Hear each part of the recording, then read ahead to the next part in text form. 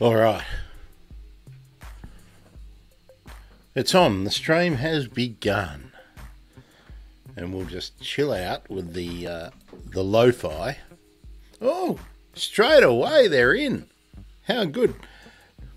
Hello, folks. We'll just um, that's a nice waiting list on uh, on YouTube. How are you? Um, now, now, now you can see the banner there. Um, so yes, this will be a replay uh, that we did quite quite some time ago. Holly Parsons from BirdLife, myself, and Dan Fuller from Plants Grow Here.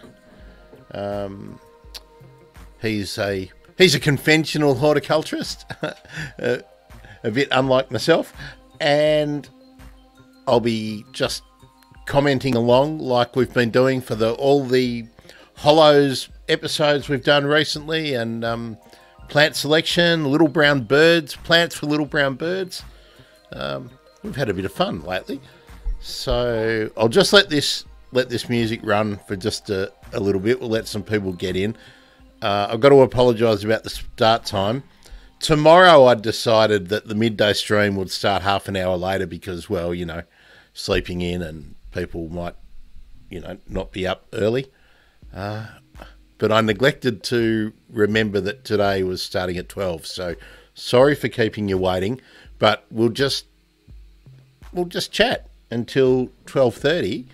Um, now, I had a comment here earlier. Tim, are you here? Give me a thumbs up if you are, and um, so that we can all get to know each other. Um, let me know who else is here, where you're from. Ah, hi Naomi. Thank you. Nice to have you back. Um, I did some of that homework today uh, that you set me yesterday. If you weren't here yesterday, um, Naomi has, a, I think it's four four species of um, regular type honey eaters that frequent her garden, plus some of the bully boys, the ones that that um, sort of form a, a street gang, I like to call it. And she's also got the large honey eaters, the wattlebirds. And we're trying to work out how to encourage the ones that she wants. And we were looking at the different ecological niches, the different food, whether they feed in the canopy or whether they come down lower and get into the flowering shrubs. So we'll talk about that. Uh, Naomi, I'm planning to do that in the in the evening um, review of the year show that I'm doing. Hi Facebook, hi YouTube. Nice to have you here. Now I'll just put another uh, thing up because I really want to try and get this, make this more interactive. So Naomi, just for the sake of letting me put up a um, a, banner, and you too, if you're here, Tim, just where where basically where you're at. Explain it to someone who just pretend they were in another part of the world. Imagine that, Tim, being in another part of the world. How cold is it? And and and Tim, if you're here, uh, um, for new people. Uh, Tim and I have become uh, acquainted on Mastodon. There's my Mastodon handle, by the way. So um, please, if you're if you're cohabiting on the Bluebird app as well as uh, the Pachyderm Tooting app, um, please add me and I'll add you back. Uh, so Tim's at the Wilson ornitho- ornithological lab. So, um, Tim, what, here we go. Now, Na- Naomi is regularly in the chat, and she's in the Blue Mountains. Um, so I've been misdescribing where you are. I always thought you were in the the Southern Highlands. So I would have I wouldn't have called the Southern Highlands the Blue Mountains, but then again, I I live 800 and something kilometres away, so what would I know, right? Mm. um, Tim, if you um, if you are interested, um, ah, okay, so that's your mum's garden that we're always talking about, the Southern Highlands, and uh, okay. Um, hi, Sue. Welcome back. Welcome back. Um, Uh, Naomi was the. Um, I'm, I'm probably shouting into the ether with Tim at the moment because he did just before I came live. Um, uh, Tim put up a message and said, "Here we go. If I'm doing this right, I should be able to. I'll put it up rather than just read it. If I'm doing this right, I should be able to pop in during dinner time." So I'm not sure if it's dinner time yet. Um,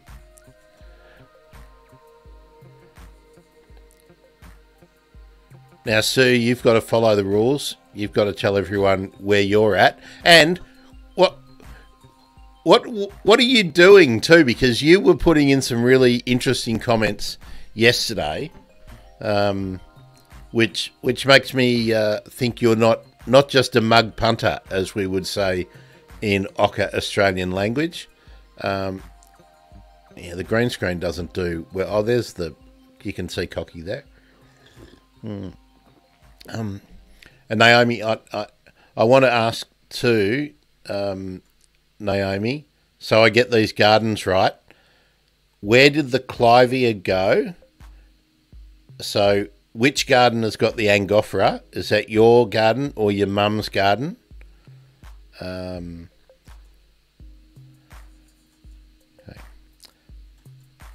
Now, if you're in the CBD of Perth in Western Australia, so right on the other side of the continent to where I'm sitting, uh, so are you are you like me doing sort of apartment living and not maintaining a garden? Do you have to do your garden enjoying these days in public open space? Um,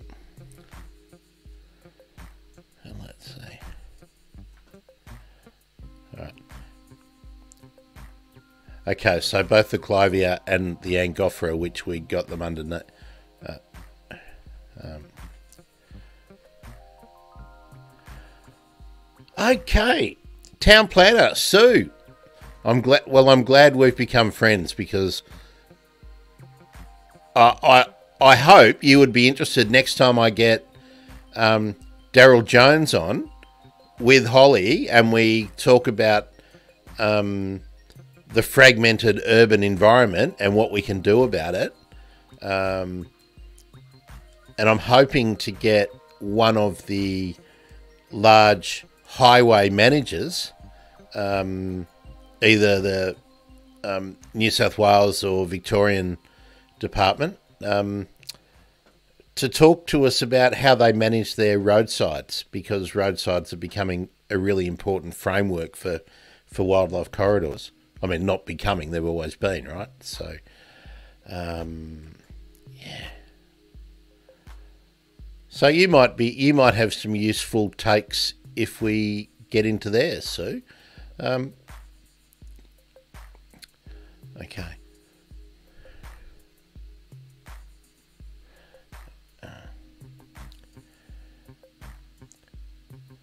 Ah, Sue. Sue's just noted that she's got private garden downstairs. So, have you got birds using your balcony, Sue? I'm really interested in that. Like, have you been, been able to create a little micro habitat on your balcony?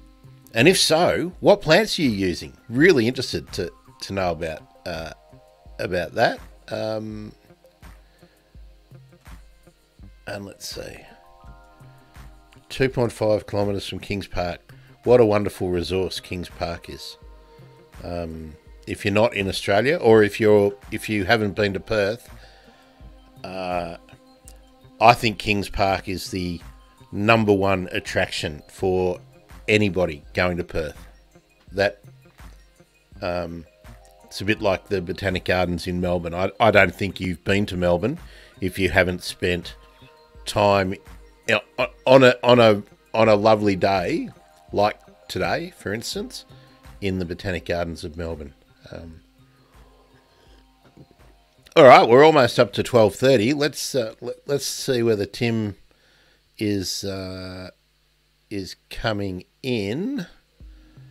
Because um, I'd like to give Tim the opportunity to. Um, uh, actually, I might, I might, might, might. Um, oh.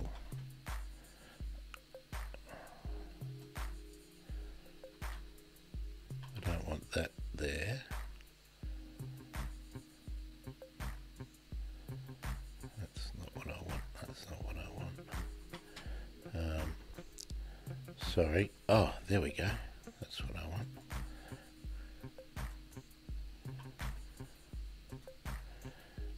I've just got just got it ready. If um,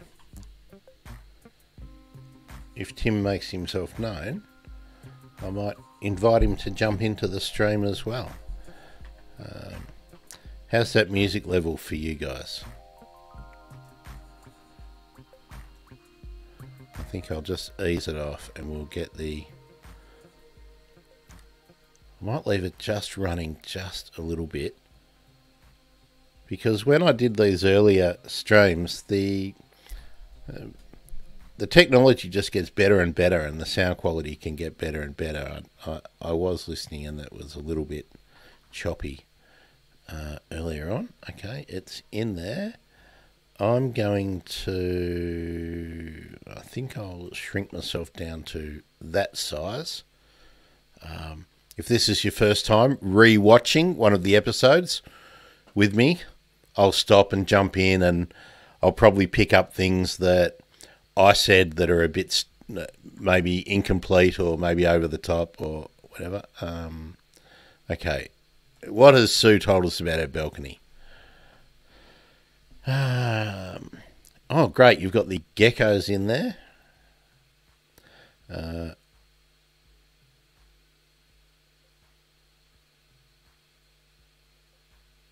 red wattlebirds, and Australian ravens. And what birds do you get down downstairs? I'm guessing. Does the red wattlebird let the other um, uh, the other honey eaters get in? And here we go, Naomi. I did not see the um, the report on a brown honey eater nesting on a balcony in Perth, but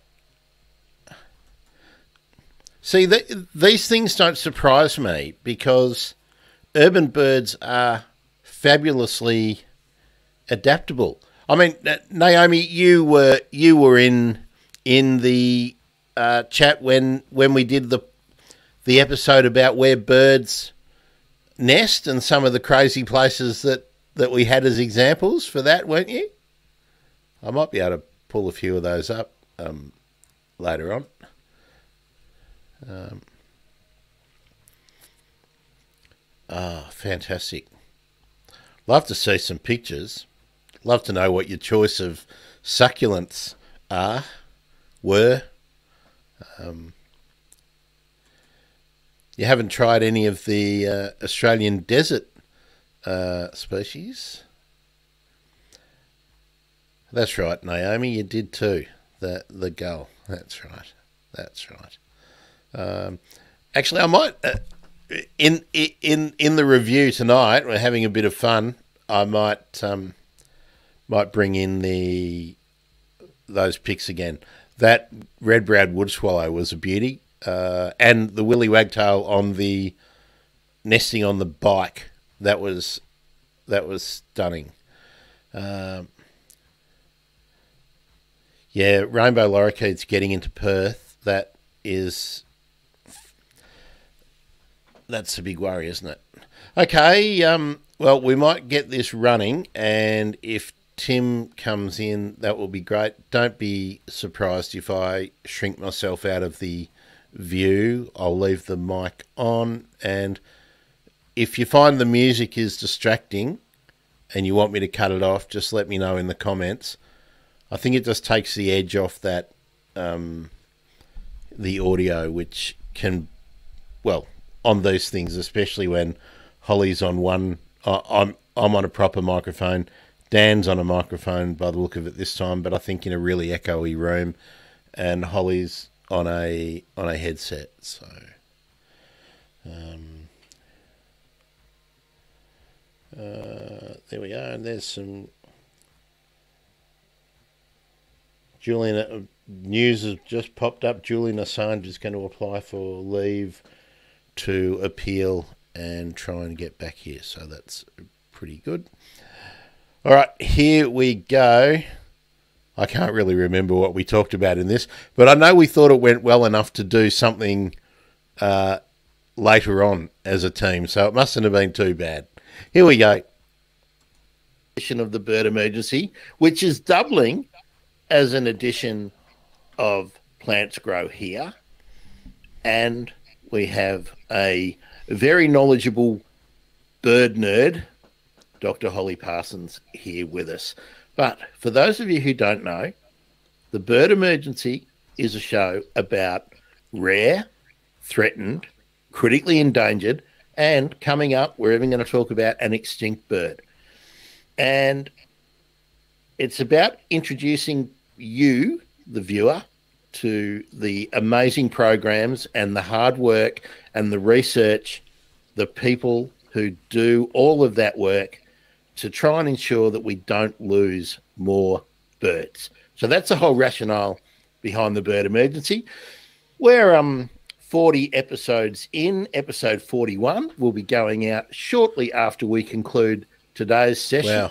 This was a long time. I'm, I'm almost up to 200, including all the bonuses now. today, Dan Fuller, who is the host of Plants Grow Here. How are you, Dan?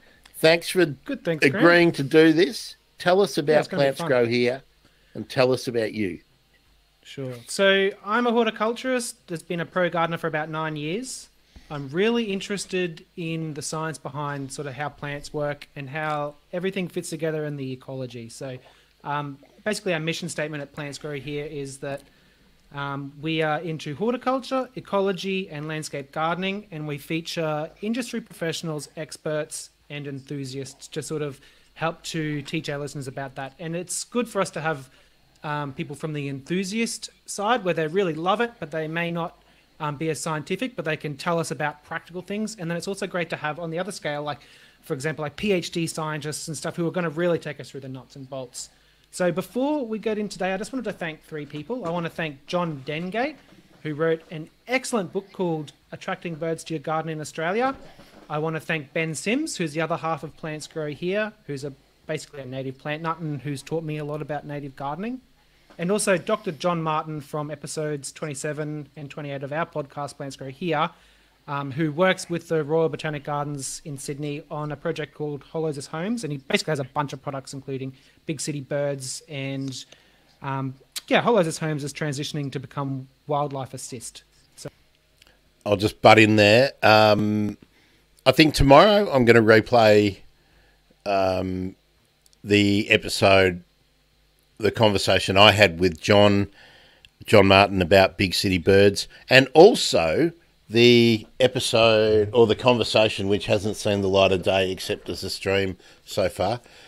John's one of the co-authors of the team that put this book together, which is the Urban Field Naturalist Project, a guide to the creatures in your neighbourhood, which I reckon is fantastic. That's why it's right next to me all the time.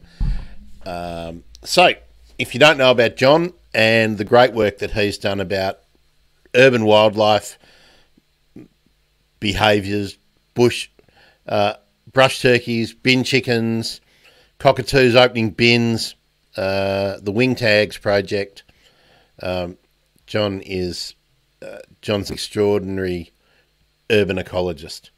Back to so it. Those are three people. Also, a lot of people on Twitter who we've been chatting with um, over the weekend have really added a lot. So big shout out to all of our Twitter friends and family. There's too many on there to basically thank. But yeah, cheers, guys. And Dr. Holly Parsons, who is representing BirdLife Australia. Now, let's just let's just be clear. This is not a BirdLife Australia show. So let's just get that clear. But Holly is the manager of the Birds in Backyards program, which is technically called the Urban Birds program. Hello, Holly. Welcome aboard. Hi, Grant. Hi, Dan. Thanks for having me. I'm really excited.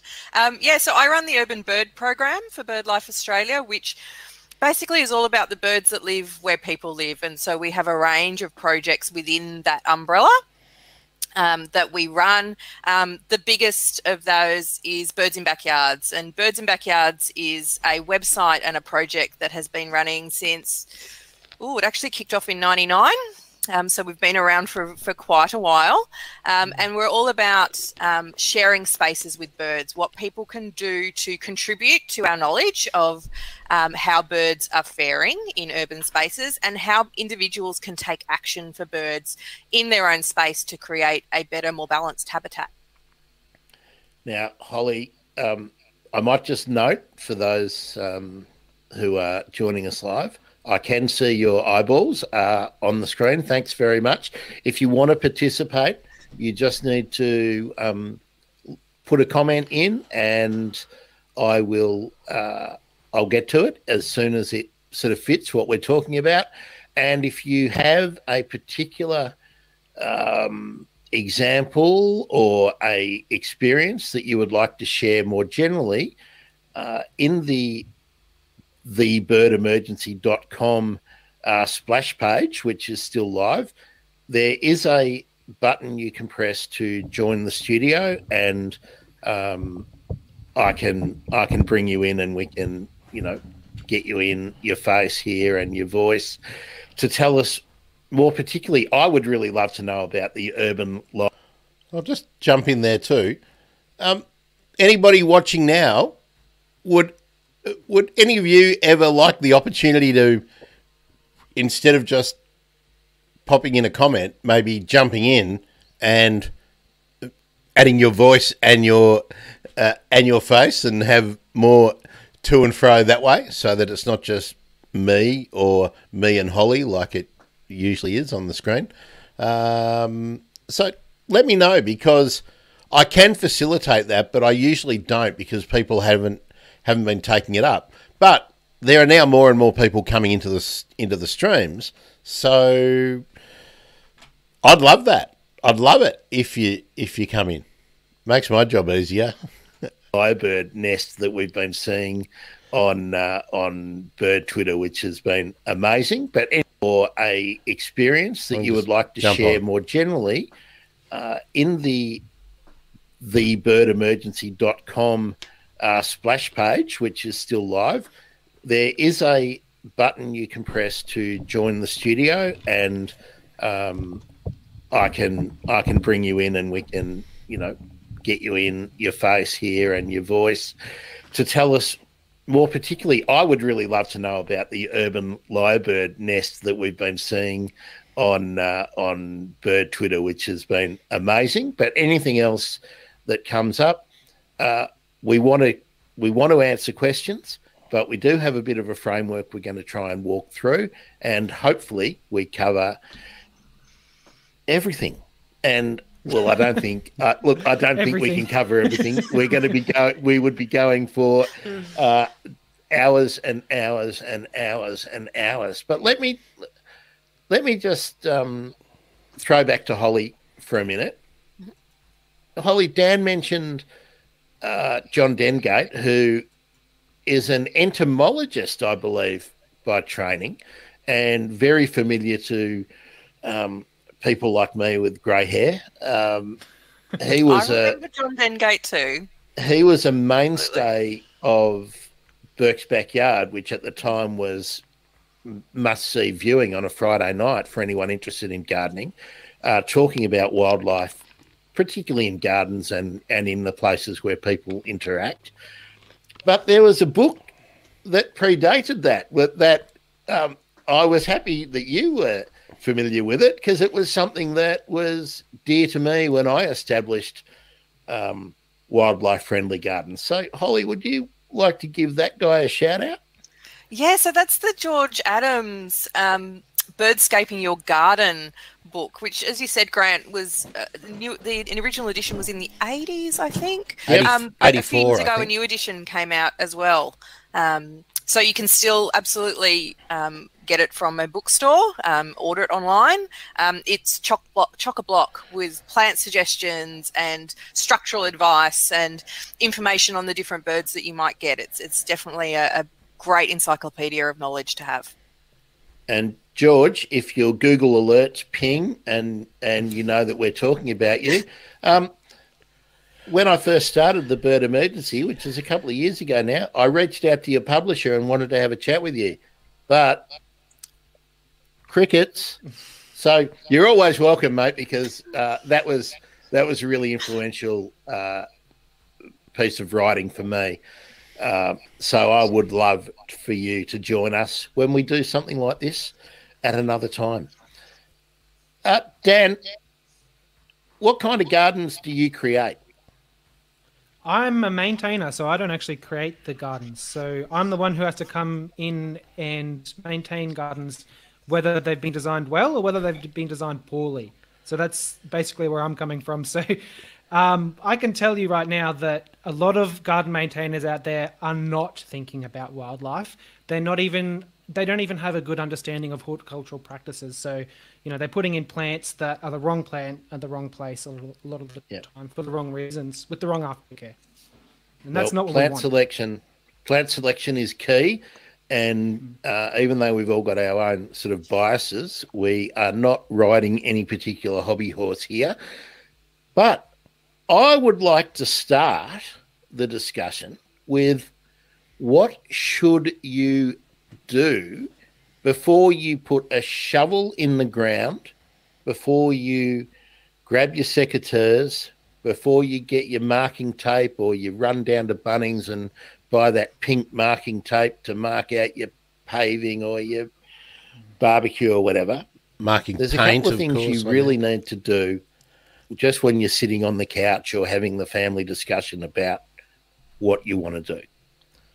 Who wants to tread into this area first? Go for it, Holly. okay, sure. Um, so I guess from there's a couple of things. So coming at it from a bird perspective, um, I oh, think it's no, more... let, let, no, no, no, oh, no, oh, okay. no. Rewind, rewind, rewind. Before you do anything, before you do anything, you need to research, research. with your local council. you need to find oh, that's out. That's a great one. Local council. You, you, you need to find out what you can do. You need to find out if there are plants that you cannot grow. You need to find out if you can use the nature strip. You need to find out if perhaps you've got a, a public access right of way.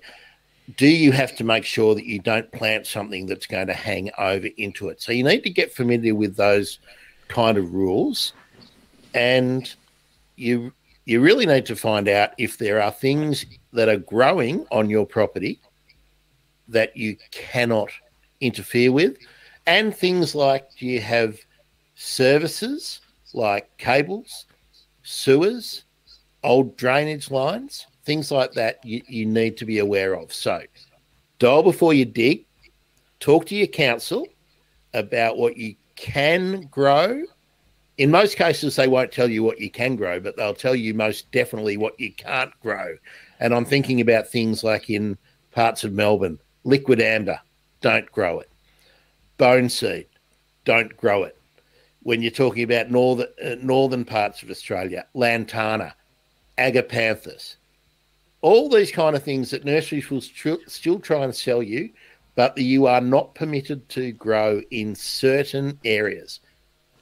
That's the first thing you should do. Then, and on that, on that, Grant, um, I find it's a really good idea to go to your local council website because a lot of them will have wildlife information on it. There are some great resources out there on um, plants to avoid, the ones that, like you said, can become weeds and become issues. There's some great resources that have got suggestions on alternatives that look very similar. Um, but from a bird perspective, before you think even think about the plants that you wanted to put in or what you wanted to remove, mm. um, is just to actually observe what's going on. So make a cup of tea or a coffee, sit out in your garden, and take notice of what is coming in and using it um, and where they're using it. So, what plants are the birds going for? What ones are they avoiding? Um, is there a particular uh, thing that's really popular? And, you know, if you are able to go out and do a regular walk, take a notice of what's going on in your neighborhood. You don't need to have binoculars, can look a bit creepy wandering around the street. Just word of warning but you can go out and just take note of what birds are around. So, what's catching your eye? You know, where's the nearest patch of bush? Oh, what happened? I mucked up. Um, I was just going to say, mic drop. Well done, Holly. Mic drop there. Um, come on. Oh, that's buffering. That's terrible. Oh, I know what's happened. What has happened? We've, oh, I messed up there, didn't I? I've gone to the wrong. Here we go. We're back here. Sorry. that was terrible. right. I wanted to give Holly credit for her joke. All right, come on, internet. What the hell is going on?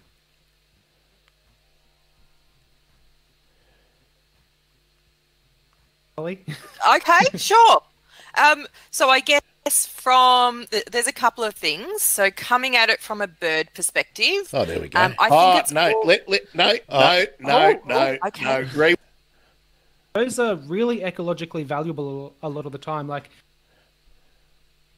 so make a cup of tea or a coffee, sit out in your garden, and take notice of what is coming in and using it um, and where they're using it. So, what plants are the birds going for? What ones are they avoiding?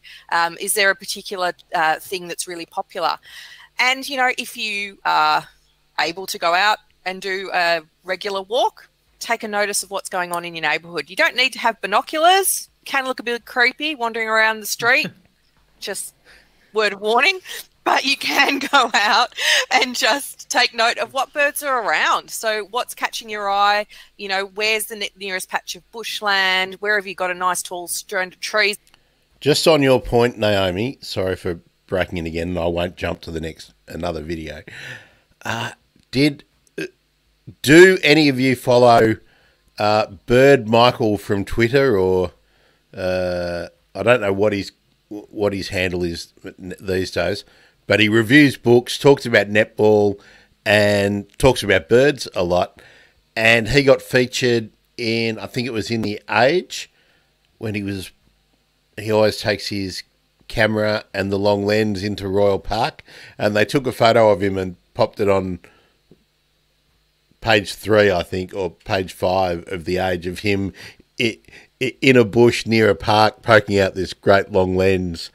Uh, yeah, that was creeper. That was bad. It could be a nice corridor and start to sort of put together where your garden sits in the grand scheme of things. Dan, do you want to add something there? I love that, Holly. So yeah, we want to think like a bird. You know, like what what do birds like? We need to know that, and we're going to learn that in this episode, hopefully. So it's things like yeah, like Holly said, like what flowers do certain birds go for, and you know, don't just look out for the big birds either. Look out for the little brown ones. Those are really ecologically valuable a lot of the time. Like um, a lot of those rainbow lorikeets and stuff. You know, yeah, build nest boxes for them, them and brushtail possums. It's great, but they're not as ecologically valuable as some of those other birds, as Dr. John Martin said on our podcast. One yeah, that's right. Um, one of the things about birds like rainbow lorikeets is that they demand your attention. They're active they're funny, they're interesting, they're social, um, they're beautiful, but they're bullies and they drive out less aggressive uh, and non dominant species. And, uh, well, when I was young, back when we had stagecoaches and, um, you know, making right. a bit of a joke. But, um, but when, no, when, when I was a young person, rainbow lorikeets were not common in our city. So certainly in Melbourne, where I was familiar with, were not common. Uh, I got very, very excited the first time I saw a long-billed corella in the environs of Melbourne. You used to have to go to the western districts of Victoria to see long-billed corellas. Now, I love them, but you got to understand that when they're coming in, they are displacing something else. And the reason they're coming so far over here to the east of Melbourne, where I am, Well, is was. that we've driven them out of the places where they want to live, where they like to live, where they really should be. So, yeah, think think about the opportunities you're creating for. We can't call them bad birds because there's no such thing as a bad bird, but but there are birds that are just like Dan. You said pest plants. Holly, you said weed potential. Uh, something that's in the wrong spot is potentially a pest or a problem. So, part of the challenge for any of us who are planting things in the ground is to create opportunities for the things that we want to join us in our our shared environment, but to discourage, to um, to keep out, if possible, with non-invasive and non-interventionist means, pest species. Who wants to take that right? Take the reins here and charge off. Yeah, I guess I like to call some of those birds. You could use hyper abundant. They're kind of they they've discovered urban habitats, whether it is because they've intentionally, well, not intentionally, but because they've been pushed out of their more natural environments, or just that we've simply created fabulous places for them. So sulfur crested cockatoos, rainbow lorikeets, are classic examples of those noisy miners where you've you've kind of created a, a, similar space to what they would naturally have found in, and then you've kind of taken it up a level because you've put in lots of flowering plants or you've put in lots of things that they have just meant that they've been able to explode in number. So we certainly have, you know, in in Australia, particularly along sort of our coastal urban areas, a range of birds that are just doing phenomenally. Um, they're fine. We don't need to put in another bottle brush to keep the rainbow lorikeets happy. They're happy anyway. There's plenty of them around. What we need to do is is maximize the chances of getting some of these other birds in. And it tends to be, for the most part, the smaller native birds that tend to struggle in urban areas. They were once much more common in parks and gardens than they are now. And there's probably a few reasons for that. So, you know, we're continuing to urbanize, we're expanding out, um, we're taking up much more natural habitat. There's less bushland patches or good quality bushland patches for them to be using. Um, our gardens are getting a lot smaller because we all tend to want bigger houses. The quarter acre block doesn't exist anymore where you could have a whole heap of sprawling things. Those gardens are a rarity. So we've gone to small block, uh, small blocks, big houses with very little room for the, for a garden. And you know, mainstream, I think a lot of the garden design that certainly got pushed through the mm. 90s and beyond has been drought tolerant plants and very streamlined oh. and aesthetically straight. Yeah, that- and I think that- that that's created a problem as well. Yeah, I, I want to really stop there for a second. That's been one of the biggest problems. When that period you were talking about, Holly, was was all the go. Paul Bangay, Jamie Durie, um, Japanese style gardens that had nothing to do with Japanese design. Um, I was working for Yates and for Bunnings at different times. And what we were pushing were simplistic, minimalist kind of landscapes. The front yard with a with a path, with a box hedge or something like that, or a row of um, lomandra, or you know something similar, but Mondo spaced out so they were easy to maintain. That was the big thing, but offered no value to birds, let alone frogs or lizards or you know, any any other form of wildlife. So we've we've moved away from that in in one part of the industry, but the housing industry, and Dan, this is where you see it all the time as a landscape maintenance guy. That segment of our industry, because it and they all interlock, has not caught up with it, and it costs money to maintain habitat, and nobody wants to spend any money.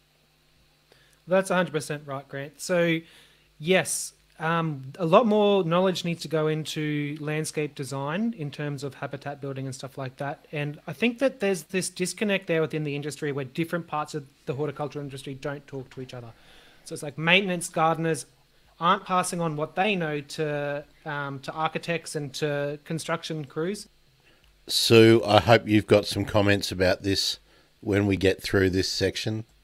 Vice versa. So I think as a whole, we all really need to be learning from each other, and ecologists too. Like we all need to be like seeking out information as much as we can. So you're talking about habitat here, and you said Lomandras are far spaced out. Lomandra is actually a great plant for birds. Absolutely. But not when they're spaced out. When they're close together, and the birds can make little tunnels beneath these. So Lomandra, for people who don't know, it's like a tufty, grassy type plant. It's not a true grass, but it looks like a grass. Looks like a comfy grass. Mat Rush. So Mat Rush. Mat Rush, exactly. And they've got these spiny kind of flower stalks, and they've got all spikes in them. Birds love anything spiny, anywhere where they can hide, little tunnels and stuff like that. And then let's say, like, imagine if you had like this Lomandra really densely planted on the ground. Then you have, say, like a bottle brush or some kind of shrubby bush with a vine growing over that. Now you have these different kinds of flowers. You've got berries parts of the year. Um, and then you've just got these little hidey holes where, you know, um, little tiny wrens and stuff can hide inside of these little tunnels that are made by the, um, are made by the vines that are growing over the shrub. And it's just like really intricate. So it's like, yes, you could say it's high maintenance, but a lot of that is just left. So it's actually very low maintenance. It's just not pretty. It's just not what we think of as being aesthetically pleasing. Holly, uh, I'd like you to tell us about the next sort of thing I'd put on our running sheet, which was to be able to think about layers or levels in your garden. Tell us why that's important. Yeah, well, I guess the thing is that there are what you probably get about 600 different bird species that are known to use visit towns and cities in Australia. That is a that's a vast majority of our birds can be found in these urban areas. So we have huge potential to attract a range of different birds. They all have different requirements. There's no one such thing as a bird friendly garden, um, which is great because it means that it gives us a lot of flexibility to match what we need out of a garden with what the birds need. Um, but you need to provide opportunities for a range of different birds. And so that means layers in particular are really important. So that's adding structure to your garden. Again, I'm going on with what our garden styles tend to be now and what our urban environments tend to be is, is sort of tall trees, grassy understory. The stuff that's missing is that middle layer, sort of from two meters down. It's those vines, it's those shrubs, and that's what a lot of birds really And- like. And Holly, I, I'll just recount an example that's happened. Um, regular listeners to my show uh, know that I live ac- directly across the street from a from a park, and when I moved o- up here, it's basically a playground and a big grassy area, and then a fringe of trees with some gardens at the entry points and a few marginal gardens on the extreme of the fences. Now, for a while, there were small honey eaters and thornbills in those uh, areas.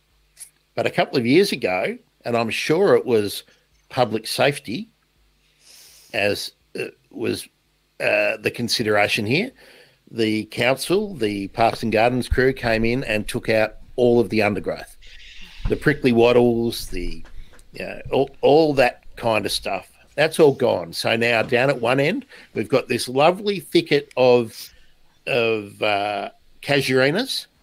Actually, I think they're L- allocasuarinas, and some uh, melaleucas and some callistemons, but there's no under understory. Beautifully mulched, but the only birds I ever see in there are pigeons and the magpies.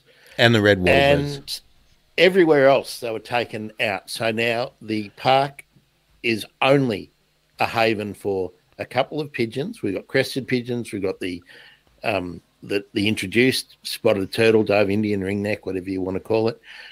Um, crested cockatoos. There's a family of magpies that guard it jealously. Um, what's the correct uh, name for the yellow winged or New Holland honeyeater these days, Holly? We've got New Holland, a couple of New Holland honeyeater. Yeah, that's the official name, but we've got a couple of families of, of those that are in the area. In the tall eucalypts, we've got white plumed honeyeaters and uh, occasionally pardalotes, but there's red and little wattlebirds. But there's, n- but that's they're the residents, and then the the lorikeets are everywhere, and the corellas visit and dig up the uh, the onion weed. But but in doing what the community wanted, public safety, we've destroyed habitat, and it hasn't been replaced anywhere else. Uh, and that's the common story. So we need people. We need people. We need your neighbours, my neighbours, Dan's neighbours to start putting some of that stuff in because I don't think that public safety argument. Think of all those paths that interconnect city um, suburbs. Oh, where I live, we've got native trees everywhere. The canopy the, is beautiful, but all of the areas that used to have shrubs have been ripped out. And if we don't put them back in private gardens, those birds will will never ever be back in those suburbs. No, that's right. Sorry, go Dan. You're right. So when we're talking about these layers, these little tiny brown birds, they know their prey, so they want somewhere where they can feel safe. At the bottom of the layer, they can go into a little hidey hole to sort of hide from a bird of prey or something that's above. Then when the cat comes, wants to jump up, you know, in, in the middle. Then there's a snake in the middle of that bush, wants to hop over to another bush or maybe underneath the lomandras. It's just this like really intricate um, food web that that we're trying to replicate here, and that's also providing food for the birds. So yeah, flowers, berries, fruits, all that stuff's great. Also, get your lawn right because that's going to have a lot of grubs in there. So mulch mow your lawns. Um, organic fertilizers. Leave the dead wood in the trees. Leave the dead wood on the ground. If you've got a great big log, leave it there. Let it rot down because all of those things are food sources for things that are food sources for things that are food sources for things, and so on, basically. Uh, I I wanted to introduce that idea of birds being food for other birds a bit later, but I think this is a good Sorry. time to talk about it. No, well, it, it makes sense. Little birds are food for butcher birds, they're food for hawks. They're food for owls. Um, you might get lucky and have falcons and things like that. Now, what what you want to do is make it an even playing field. If you don't have anywhere for little birds to hide, well, the only winner is going to be the hawk or the falcon or the cat or um, some other predator. So, and this is the same for lizards and for uh, frogs, um, native rodents, anything else that might be scurrying around. If you've got leaf litter or little, like you said, hidey holes, Dan, rocks. Yeah, all you need to do if you've got some roofing tiles that are laying around that Uncle Fred had left over from his reno, you just get a a brick and a roofing tile lean over. It's like a little lean to that we would call a, a humpy or something, but that's a perfect spot for a lizard, perfect spot for spiders, perfect spot for frogs on a hot day. So make opportunities for them where a bird, a predatory bird, kookaburras, kingfishers, uh, they, oh, yeah. So, Dan. it's it, it, it, it's it's hard not to go off on a tangent, especially if you're me, because that's my special skill. Um, but everything's interconnected that we're talking about here, Grant. So yes, the habitat is the food source. So we're not what we're not wanting to do is we're not wanting to go out and hand feed these birds or give them birds and nuts and stuff, uh, give them fruit and nuts and stuff as a substitute for plants. Plants have all of that in them, and they also provide habitat too. So we're looking to replicate natural looking things, which aren't always as pretty as you know a manicured garden. It might be a vine strangling a head, uh, strangling a bush, and that's just. Hmm. We always forget that magpies, currawongs, butcherbirds are serious murder birds. Um, there's no shortage of them. Uh, so that's why we did the Little Brown Birds uh, episode yesterday. Um, and we're going to do a hundred. Uh, Naomi, you've already heard this, but uh, and you too, Sue. Um, on the long weekend, the Australia Day long weekend, or whatever, whether we have it anymore, I don't know. But a hundred, but a hundred plants for little brown birds. So you'll have plenty of opportunity to find plants or to learn about good plants, and we're going to do it for all the all the habitat zones uh, around the country. So might it might end up being more than hundred. So going to play out in the long term. One of them's going to win, one of them's going to lose. But in the 50 years that that struggle between those two plants is going on, there's some incredible habitat there. Let's just extend out the layers bit for a minute about why it's so important. And Holly, I'll throw it up there that if if we had suburbs where every one of our gardens had a big tree and that we all weren't so intent on pruning along a fence line and that you had a big eucalypt that just almost touched into the next eucalypt and the and the callistemon or the melaleuca or the camellia what whatever the big rhododendron were leaning over and touching another plant that's a pathway. It's the highway that animals and birds use. Now, we need to really think about having those things in our built environment.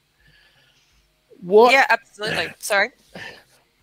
Oh, I was going to say, Holly, what what have you found out in the the work that you guys have done, and and with the um, the great Aussie backyard bird count, which is one of those great projects that BirdLife uh, does each year. What what have you discovered about what is actually happening? Because we're all talking anecdotes. What's actually happening in our suburbs with the birds that we are familiar with? So I, guess, as I said before, the so the Aussie backyard bird count has been running for I think six years now. This might be the seventh year this year, coming up in October.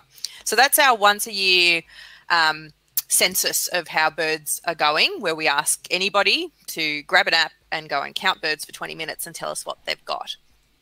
Um, every year, the, the top birds are noise, uh, rainbow lorikeets, and I think magpies are number two. The top 10 list doesn't change a lot. They're the big urban winners. Um, I'll throw into the mix that we also run birds in backyard surveys, which confuses things um, because there's the app a That's bit on the green really, screen. Not really working there, but yeah. so um, in a, in conjunction with that once a year count, we also have another survey which is open year round, and we tend to promote seasonally, where we ask people to record what they've got visiting them in terms of the birds, but also what their habitat's like. So we ask people to do a simple little questionnaire which says, My garden is mostly natives, mostly exotics. I have, you know, a lot of trees or no trees, a little bit of lawn. I feed birds, I do X, Y, and Z. Um, and so we've been able to take that data and really look at what habitat preferences different birds have. So we find things like um, New Holland honeyeaters, like you mentioned before, fairy wrens, silver eyes. We tend to find them in gardens where the plants are mostly native and where we have kind of more than 50% shrub cover. So they're really going to that nice, dense thicket type garden. That's where you tend to get them. On the other hand, where that gets a little bit more confusing if you're looking at individual species that you want to attract, fairy wrens, so superb fairy wrens, my favourite bird, um, really like those gardens, but they also like a lot of open lawn space. Okay, so we need a garden for those birds that's got a lot of lawn and a lot of shrubs because they're coming out and doing their feeding and ducking into the shrubs for protection. Uh, Holly, just excuse me for just a minute. What, uh, I, I think lawn, we can we can interchange that with the term open space. Open space, It- sure. For, foraging areas for small birds. Mm. So it it that I just don't want people to think they have to have a lawn because in some instances mm. lawn is the enemy. But we'll yeah, uh, especially if you're using chemicals. But if, if we're talking about a lawn that's just, you know, grass growing in carbon rich soil and you've got things like dandelions and stuff in there, this, especially when you have dandelions and uh, clover and stuff like that, because th- these little flowering plants are going to provide even more food sources. Like birds might eat the leaves or even the seeds or the flowers. They might just, um, yeah, have a have a graze on this varied diet rather than just grass, because grass doesn't have a whole lot of nutrition other than grains. but I think Dan, that sort of, uh, um, uh, I think that sort of just highlighted my point is that a lot of people are fanatical about maintaining a lawn with no dandelions, with no clover, with no anything That's else. not what we want. Please, please, please start to think about meadows now. Now, Mm. here we go. This is what I like. This is what I like to see. There we are. We got a comment there. Ha, Holly, you've just described my place for fairy wrens. Yes, Perfect. that's great. And do do uh, do contribute. We we do want to know what is happening in your location and what your experience will certainly help uh, help somebody else. Uh, can I can I get you, Holly, to perhaps tell us a bit more about the the data that has become evident in the bird count? Who are the biggest losers that you've you've sort of seen over the years? Oh, yeah. Look, it, losers is a strong term. Um, so Uh, well, uh, well, I mean, which which birds are being replaced? And Mm-hmm. Because I've I've got a little anecdote which I'll share a bit later, but and it might surprise you which birds got me really concerned about where sure. where birds are. Okay, look, it, I mean, I guess it depends on the, the threat that, that um, you can try and reverse. So different birds are, are being threatened by different um, by different things. But we tend to find the birds that don't do as well in urban areas tend to be smaller natives, um, generally insect eaters or seed eaters. Um, some of the smaller honey eaters as well, um, like your white-cheeked honey eaters, um, white plumed honey eaters as well, um, scarlet honey eaters. Um, White naped is what I've really noticed as yeah. missing in my part of Melbourne. So it tends to be if you you're doing really well, if you are bigger, more aggressive, more flexible in your diet, you can eat lots of different things. Then you've got a, a smorgasbord in an urban space. But if you are fussier with your diet, if you tend to be Sorry, Naomi. This what Holly's describing is really what we were talking about yesterday about the different honey eaters. Um, that the ones that are adaptable and flexible in what they eat are the ones that that dominate um, most gardens.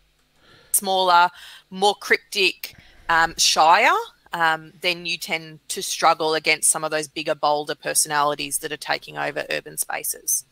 Um, and then, you know, if, if you're towing big birds, it can be really hard for a lot of birds of prey. Um, You've got, you know, butcher birds, currawongs, meat eaters doing okay, but a lot of those bigger birds of prey are actually generally quite sensitive. Um, they don't like human development, they don't like being around people, so they find it really challenging. Um, when you're talking owls, of course, you're looking at loss of hollows. Um, you know, unfortunately, you know, big old trees tend to be one of the first things to go um, in urban spaces, and we can talk a little bit about that later, I'm sure. Um, but you know, owls can find it quite challenging a lot of the time. Um, so there's a whole range of ways we make it really difficult for birds to live with us. Um, but there are things that you can do in your own space, and, it, and it's really about creating that good habitat to bring them back. Dan, I know you'll want to talk about hollows uh, later, and I certainly do too. But let's put that aside for a minute. I I want to introduce the idea of what what we do with the built environment in our gardens, and that's sort of the hard landscaping that we do, um, and how it affects uh, birds and wildlife generally. So, uh, Dan, I think uh, you. I, I, hope you read my little note so that I don't have to say it all all again. But can you talk about those common things that we see in all the built environment, which is fences, paving, particularly, and then other structures that we that we utilize? Sure. Yeah, I'd love to. I don't remember the notes because I know we've sent a few notes back and forth, so I can't remember the specific notes this time. But yeah, look, in nature, you're going to find rocks. It's not that different to a paver. You know, you're going to have little critters growing up under, uh, little critters rolling around underneath the paver. If you lift that paver up, you'll notice there's little centipedes and all sorts running under there. That's fine. Great place for lizards to sunbathe on.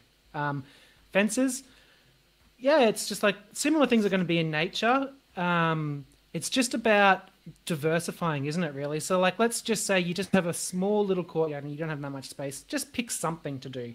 Maybe around the side you can have a little vine or a big thick vine growing along that fence, and level up that fence in terms of habitat that it, the, the habitat that it's providing. Um, maybe you do have a eucalyptus tree and it's giant. There's no other eucalyptus trees, um, you know, around for a couple of hundred meters. Well, yeah, there's not many corridors, so that's reduced. But at least you can um, maybe put some hedges around beneath it or something like that, just to create those levels. So we're really looking to nature and trying to replicate what she does because she's really clever and she, um, yeah, she knows everything. So that's who we're trying to copy in the built environment. Holly, do you want to take that up and run with um, the idea of what paving? Because I, I, I, I take what Dan said absolutely. I had I had a slightly more negative connotation on the effects for wildlife, which um, I'm I'm guessing you might tease out a little bit further. Yeah, sure. Look, I mean, I guess anytime you're adding, uh, I guess, an relatively impervious surface, um, it's not particularly a feature that a lot of birds want to spend a lot of time on. Okay, so yeah, you, Dan's right. It's great for, for lizards and things to bathe on, which, you know, your kookaburras and your butcher birds will love. Um, but for the most part, it's not adding a lot of habitat for birds in particular. Um, we tend to find that, you know, if you've got more of that sort of blank space, that impervious surface, then you tend to get more of your introduced birds. So you get to get more of your common or Indian mynas, your spotted doves that like hanging around us and our sort of structures that we tend to build. They like being around, you know, our guttering and things as well. Um, so definitely minimizing it um, still having it around. I guess it's around that balance. You, same mm. with with a, a, a, open lawn space. You don't want it to dominate your garden. Um, you want to have lots of different options in there. So you don't have a, a, hopefully not a garden that's entirely paved, but there might be one corner where you've got your little. Um, yeah. Oh yeah, me too. Well, well, that that well, that's really what I where I was heading, is that let let's think about the I, am not familiar with with the suburbs where you live, Holly, but for Dan and I in Melbourne, um, I'm familiar with the area that Dan lives in, and apart from the redevelopment where the townhouses have been built where you're getting two two story residents with a very small backyard have taken over those um, larger backyards. What we saw was really common in the uh, in the 80s for people who, and the 90s for people who weren't in the native plant uh, fad. You would have a big paved area, a lovely entertaining area. But what happens to an area of hard paving on a 40 degree day? it radiates heat and it makes your your whole area unbearable for small animals, birds and and large animals too. But so if you don't have a refuge, dense plantings where they can go and enjoy a five to ten degree cooler place, they're just leaving. And animals are creatures of habit, uh, like we are. If every hot day they have to escape because it's the only way they can survive, they stop coming back. But not only do we create, well, a large paved area for a small animal is a desert. That's all it is. It's a bloody hot desert. But what else it, we do when everybody paves, and this is what's happened in our suburbs, everybody's got their entertaining area. That rainfall that used to land on grass or on a on a uh, a border, herbaceous border, or something else, that no longer goes into the soil profile. It runs off, it goes into our stormwater, and it ends up in the bay, the river, the what, the whatever. That's killing our trees, our street trees, and our neighbourhood big trees. Trees take a long time to die. The trees that are being cleared in your suburbs or your cities now because they are dangerous because they're dying, they died from heat stress 10 to 5 years ago and they're only being cut down now. But this is what the effect of our urban environment is, and which is why I'm so passionate about what we're talking about today. Vegetable can I just gardens. Interject, uh, can I just Sure. interject one term there? I want to interject. I want to tell people about the term um, the pension in a tree. So if if a tree, you know, let's just say a tree's there and you cut a bit out um, of the soil there to put a driveway in or something like that, and the tree looks fine for three, five, ten years. It's actually not fine. What you've done is you've actually robbed all of this um, energy for, that's stored in the tree's tissues, in its xylem, uh, in its phloem, in its sugar tissues, and um, so not only that, but you've also reduced the plant's ability to uptake nutrients with um, the removal of those, those roots. So let's say that the tree's living off its pension, which is the all the sugar stored in its system for 10 years, and then it just runs out of energy and then it dies. So you're right, you killed the tree 10 years ago, but now we're just seeing the signs of it finally spent all its pension and now it's going to die. and and managers of the urban environment, which if you are a homeowner or a landowner, mm. that's you, as well as your parks and gardens crew, as well as your horticultural manager at the botanic gardens. All the you've all got the same kind of issues to deal with and the same responsibilities. It's just that we notice them and we think that the cause was yesterday, but no, a lot of these problems that well i'm framing them as problems are 20 and 30 years old and the time to correct them is yesterday but the next best time is today so um, that water infiltration also has effects on your paving your foundations your footpath your your roads. So try if you can if you do not need uh, the beautiful flat even paving if you can remove every second paver so that water can infiltrate. Or if you're starting from designing from scratch don't do that really radical hard paving because um yeah it's it's bad. it's bad in so many ways. Um, tree and and tree roots can't grow under compacted, um, you know, six inches of of compacted gravel, lilydale toppings, anything like that. Even if it's reconstituted, it's uh, friendly, you know, road base and all that kind of stuff. Recycled, reused. Plant roots don't dig it. They won't go. They won't go near it and then that, that's when they'll start pushing over your neighbour's paving and That's it. so Yeah, they, they go for they go for the easiest route possible. So they follow the gradient of the soil. So if, if it's too hard, like it's not gonna, it's just like a pot. You know, the roots are gonna hit a concrete base and then repel off. If it's all um, compacted, same thing. They can't grow through that. They want nice friable soil. Now, let me say something about fences. This is my this is my hobby horse in the in the urban environment. We're talking about other animals. Um, possums love to run along the tops of fences. So do cats. Um, but just imagine you live And on the fringe of a city, and you're lucky enough to have koalas. And the koala comes in because you've got a lovely food tree, and he climbs up and he's up the top of the eucalyptus globulus or whatever he's he's in. Uh, but to get to the next food tree, he's got to climb down. He can't jump across to an adjoining tree with that crossover of the canopy that I was talking about before. But you've got a, a six foot high paling fence in the way. There's nowhere for him to get through and you've got dogs and your neighbour's got dogs. Um, basically, you're not going to have any koalas, and your neighbourhood's not going to have any koalas, even if they're nearby and they would come in if they could. So, we have to think about access for animals.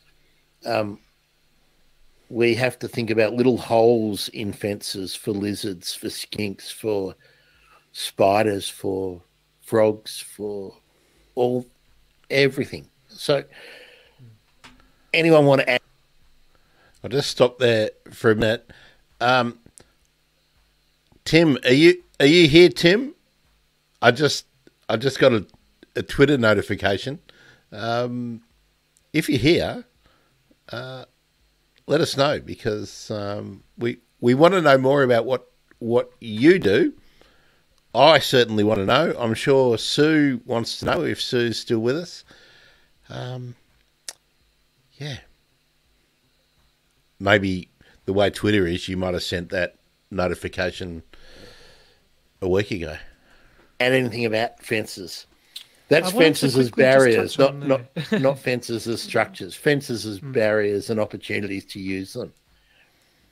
Guys, you probably know the answer to this question. Are birds afraid of the smell of dogs and cats, or is it just the noises, or what's the go there? Uh, it's a bit of both. Um, so they definitely pick up on the threat and they will know that there are dogs and or cats around. Um, it's probably a more visual thing for most birds um, than smell. Um, but so you know potentially you know having a area of your yard if you have dogs that is off limits to the dog. Maybe you know you're using some sort of um, some sort of fencing that that, that birds can move through that might block off a bit of a bit of the garden. Um, and of course you know having the dog might be spending a lot of time inside um, if you've got a cat keeping it inside or in a contained run is absolutely the best thing not only for wildlife but for the cats I'll just stop there and take up Naomi's point because it's relevant to what we're discussing, obviously in the uh, in the show. Rope highways are great if there's no other way to provide what the animals need, which is to get from one part of the habitat to another. Uh, having overlapping, I- intertwined, interlinked canopies and shrubberies is far better than rope highways. Rope highways do a job because we the distances over roads is uh, you know lends exactly to that purpose. Um, but rope highways are no good for wombats as well. So we need to um, uh, we the point the point I want to make is that we need to stop thinking that because there is a solution like a rope, a rope highway that it is the best solution. They're easy to cost, like they can uh, any developer can say I'll just pull something out of the out of the ground. They might be able to say right, it's two thousand dollars for every ten meters of rope highway, and they can cost that into a project, and that just gets ticked off. But um, it would be probably better if there was an overpass that was planted out, and koalas could use it, and kangaroos could use it, and uh, just saw a piece on uh, yesterday. They've reintroduced the tiger quoll to the mainland. Well, you know, there's a whole lot of animals that can't use rope highways, so they're still stranded in in the habitat that we have. Um, uh, now this is a good this is a good thing. Why? Uh, he, here's where I I agree with what you're saying, Naomi, about it's better than nothing, but what we should be demanding is that the trees stay and that the development works around habitat rather than we then we disappear the habitat and then we put back a bit of this and a bit of that. We, we, we, we need to we need to go away from normalizing the situation where it's normal to destroy the joint and then fix up a bit of it. Uh, it can be done, and that I mean that that's my starting point for all of these all of these discussions is that we we've moved past well we should have moved past it and um yeah I mean re- remember when nobody wanted to uh, no one no one wanted to deal with the cost of putting access ramps for uh, uh, for people who were unable to deal with stairs. Right? But we made everyone do it. I don't see that it's any different that we we we if if there's koalas around, you deal with the koalas. You you you don't say, oh well, we'll take eighty hectares and bugger the koalas here, and and we'll give them eighty hectares of land over there, where they're not but they might be one day. Uh, rubbish solutions. They're not solutions. They're excuses. In in my in my view. As well. Mm-hmm. Um, Absolutely. We can we can, we can talk that if you want to. And you picked up on the on, on the thing I really wanted to get across, Holly, was that you can have barriers mm. that are able to be penetrated by birds and wildlife that are impenetrable for the things that you want to exclude. And that is where your planning needs to happen before you've gone down to Bunnings or Mitre 10 or wherever and just bought a solid material because because that's what you've been presented with. On that point too, even I just saw one of my neighbours has built um, a gabions, uh, and if you don't know, gabions are where they have like a a wire um, they're, they're basically a wire enclosure that they fill with like bits of granite, sandstone, whatever is the the rock uh, that they can have pieces of and stack it in. So you have a rock wall effectively, but it's got straight lines. Uh, it's so easy when you're doing things like that and brick fences or whatever. Just you can leave a little gap so that little animals can get through. Now, in most parts of a city, that's only going to be for rats, maybe. But there are lizards, right? They they need to they need to navigate these things. If you make a lizard walk around a fence and onto a driveway, you increase the chance that it's going to get picked off by a cat or a bird of prey, or someone's going to run over it, or a dog's going to get it. Um, we we can do all these things, and it's we should make people do them. I I, think.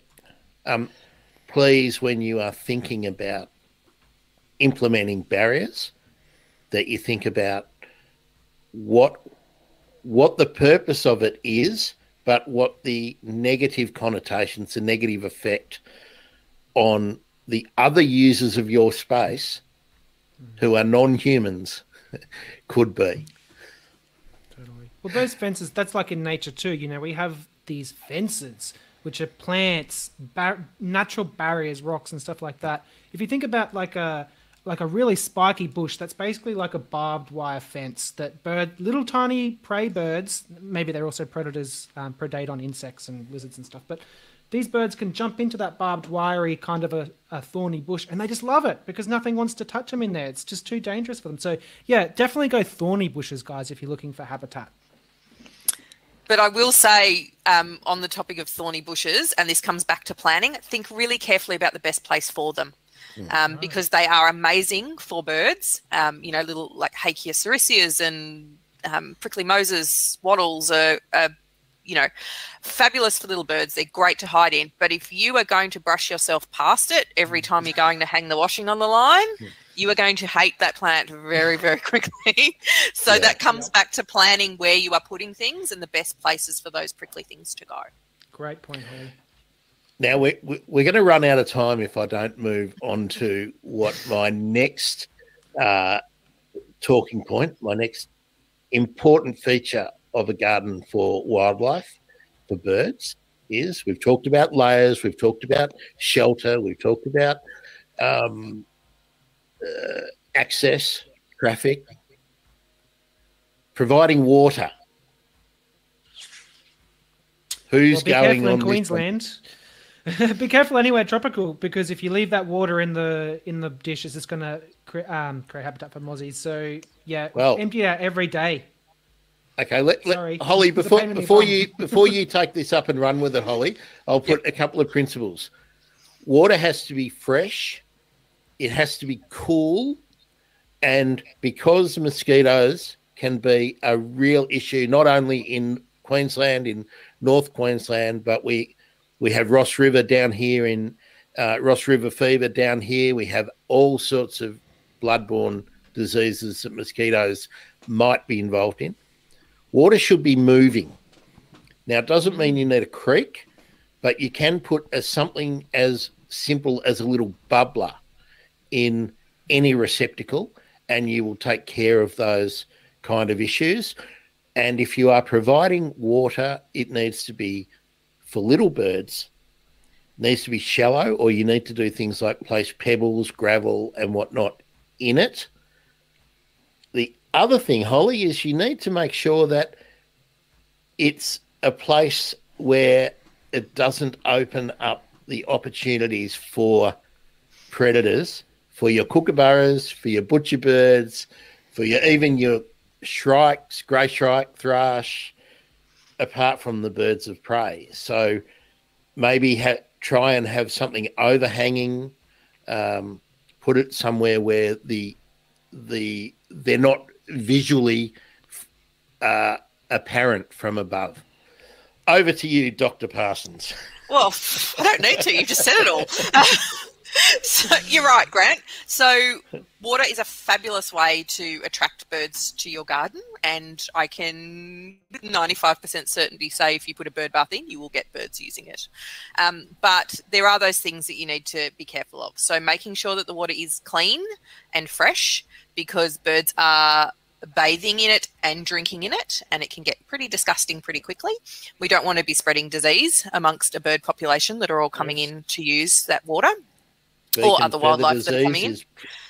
Beak and feather disease is very prominent in our yes. cockatoos and our rosellas, our lorikeets. Um, of course, there is an episode of The Bird Emergency with Dr. Johanna Martins about that. Mm-hmm. Um, um, Holly, so, sorry, go. Uh, will will birds regularly visit places where there are no access, where there is no access to water? Uh, depends on the bird. So, yes, um, because birds are not only coming to your garden just for water. It will depend which of the items on their list that you can tick off for them. Um, so water is a, a, really great way to get them there. But if you have great shelter, if you have really good food resources, if it's a great insect life or you've got some great flowering plants, then they will still visit you Absolutely, because they are searching around your neighborhood to meet up all those resources. But if you're you've got water, if it's nice and fresh, making sure you can um, either aerate it as as you said or tip it out quite easily onto the garden and fill it back up again. You shouldn't need to use any chemicals and things if it's if you're replacing it daily or every second day. Um, but thinking about really carefully about where you put your bath as well. If you've got a pedestal bath you go down to the local hardware shop there tends to be the ones that you that you can get if you've got a pedestal and it's out in the middle of your garden and there is nothing around it, then you are going to have rainbow lorikeets and magpies and things coming and using it, but you're not going to be helping the little guys that are shyer, that, that want to feel safe in order to use a bird bath. So if you put that, or even if you don't have any dogs and cats and things in the yard, a plant saucer on the ground, easy. That that's as simple as you need to go, and and uh, you can you can just scrape out you can just scrape out a couple of inches, three, four centimeter depression, throw some plastic in it, and then throw some gravel over the plastic and put some mulch around the around the edge of it. As long as that water is regularly there, that's all you need. Absolutely. I put in a pond, a, a pond, and it was just a um, a kiddie wading pool that we weren't using anymore. Yep. Um, dug it out, put it in, mulched around the outside. It's amazing. Was it um, one of those beautiful hard, hard half shells? Uh, it was not. It wasn't no. a little no, a little mermaid statue on the side or something. No. um, but um, if you're putting that, um, you want to make sure if you're wanting to attract smaller birds and and the, those shyer species, you want to make sure that it's not smack bang in the middle of shrubs because you don't want them to be attacked by a cat that's just going to dart out and grab them when they're bathing because it's a very vulnerable state for but birds. But Holly, that that would never happen because all the responsible owners in the area would have their cat contained. Exactly, exactly. So you're going to want just a little bit of distance from the shrubs. It doesn't have to be much, but where there is an escape route. And so if you get the opportunity to watch birds as they're bathing, it's not as creepy as it sounds. You will see that they will start, they'll, they'll have like one might be a little bit of a lookout and will sit on a branch and make sure everything is safe while the others splash around. Or if they are coming in by themselves, they'll dart in and out really quickly and they'll be looking around they need an escape route. So they need a branch that they can fly up to quickly. They need a dense shrub where they can make a getaway um, if something comes along and disturbs them.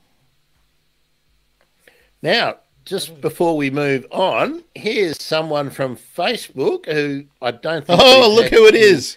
Contact with on Twitter. Hello, Naomi. Thanks for joining us. I remember. I this. have a small pond, concrete in the ground. How do I keep it clean?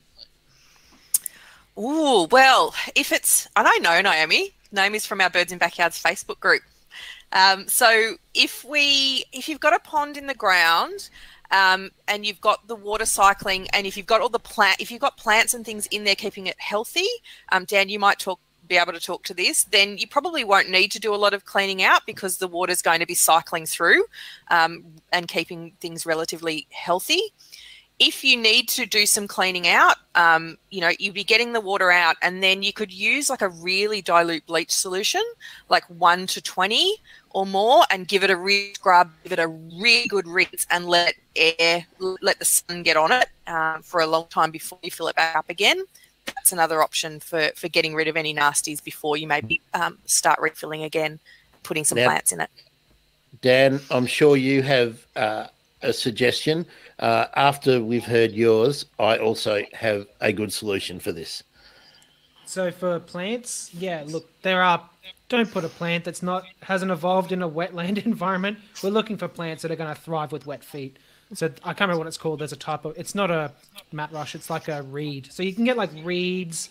Um, have a local nursery. That's the one. Cypress, yeah, a great run. local nursery. Yep. They'll know, especially if it's a native um, nursery and they do habitat and stuff like that.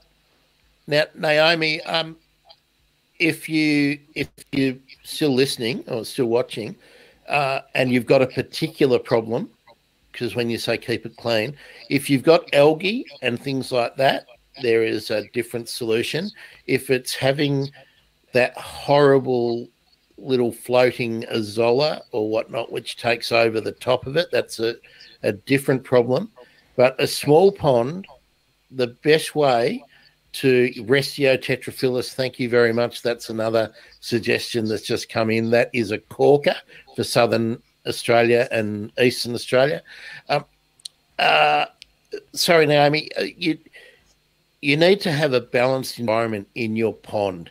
So those ribbon, uh, ribbony kind of aquatic plants are important, and you can pick them up from most nurseries nowadays.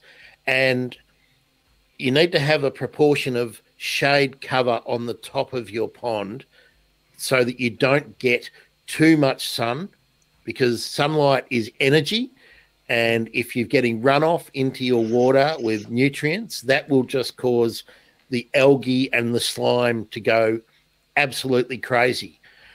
Also, if you have things like lilies, and you can get native lilies as well as um, the larger, more extravagant water lilies, that will keep the temperature in the water constant and cool, which means a lot of these problems don't happen. But you can also have a nice environment, get some little fish, not big fish, little fish, and encourage, put in a couple of sticks and things like that so that you'll get other insects, you know, dandy, uh, what do we call them? Dragonfly, mayfly, larva, things like that. But you also want snails. If you've got water snails, that will eat the slime off the edges of your pond. So if your pond is always getting dirty, unclean, it's not healthy. So you need to actually insert life to the pond and think about those kind of things. Water is just like the built environment we've been talking about. It needs shade, it needs movement. Um, you know, you you don't want to over fertilize it. Mm. So have a have a yeah, good look well, at your pond. Yeah talking about over fertilizing, you know, you're talking about shade over the top. Be careful of those leaves dropping in because that's going to turn into tea and then it's going to turn into mm. toxic kombucha because they're going to rot. They're going to yep. ferment. Yep. So, yep. Get oxygen in there. Plants. Get yep. get plants, mm-hmm. snails, get oxygen in that water so we got aerobic activity, not anaerobic.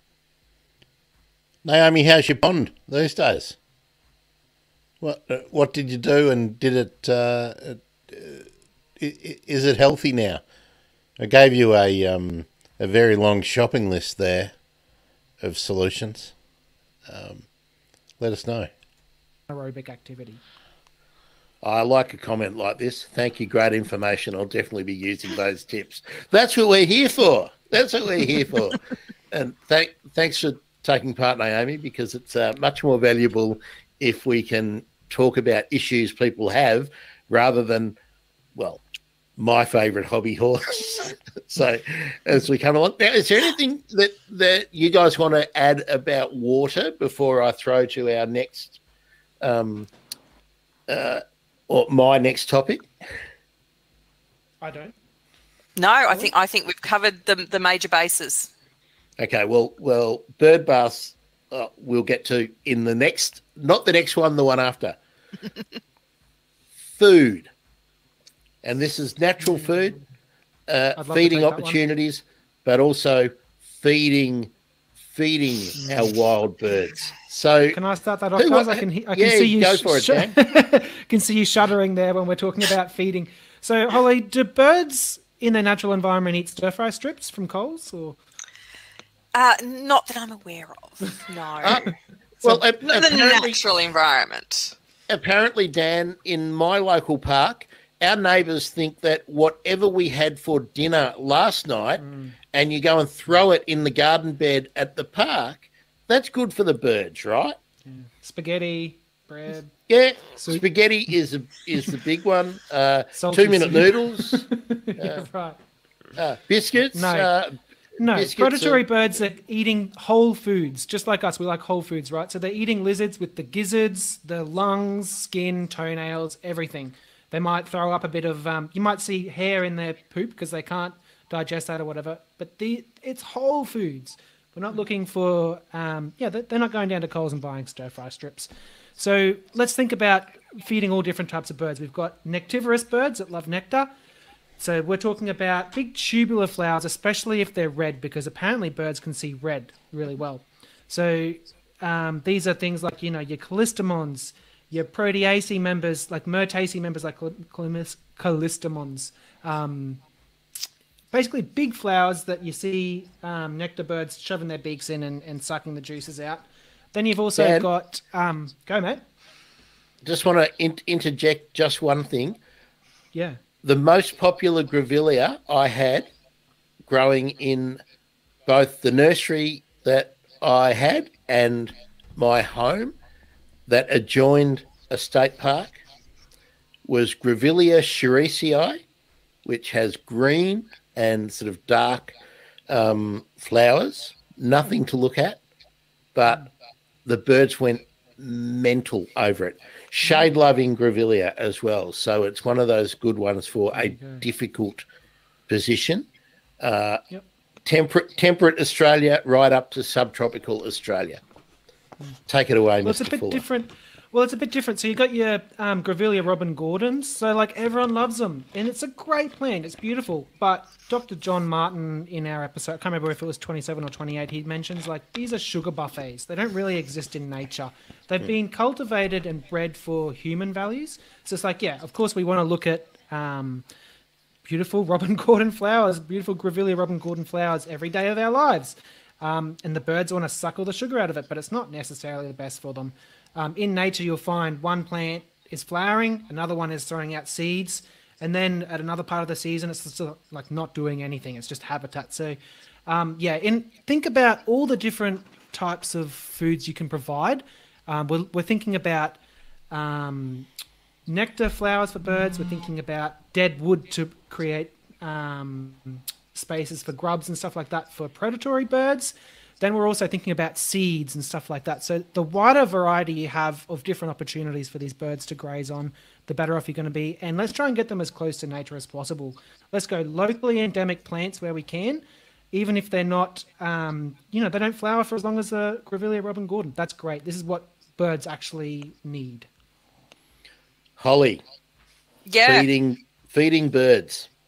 So um, I guess on the the grevilleas, the hybrid grevilleas and the Robin Gordons and things, absolutely beautiful looking plants. Like Dan said, don't really replicate what goes on naturally. Um, and so I'd particularly emphasize if you've got noisy miners, so the native honey eater, if you've got rainbow lorikeets around, um, I would suggest not putting in nectar producing plants because that will just suck those guys in. They are bullies and they will not give any other things a chance to come and visit your garden.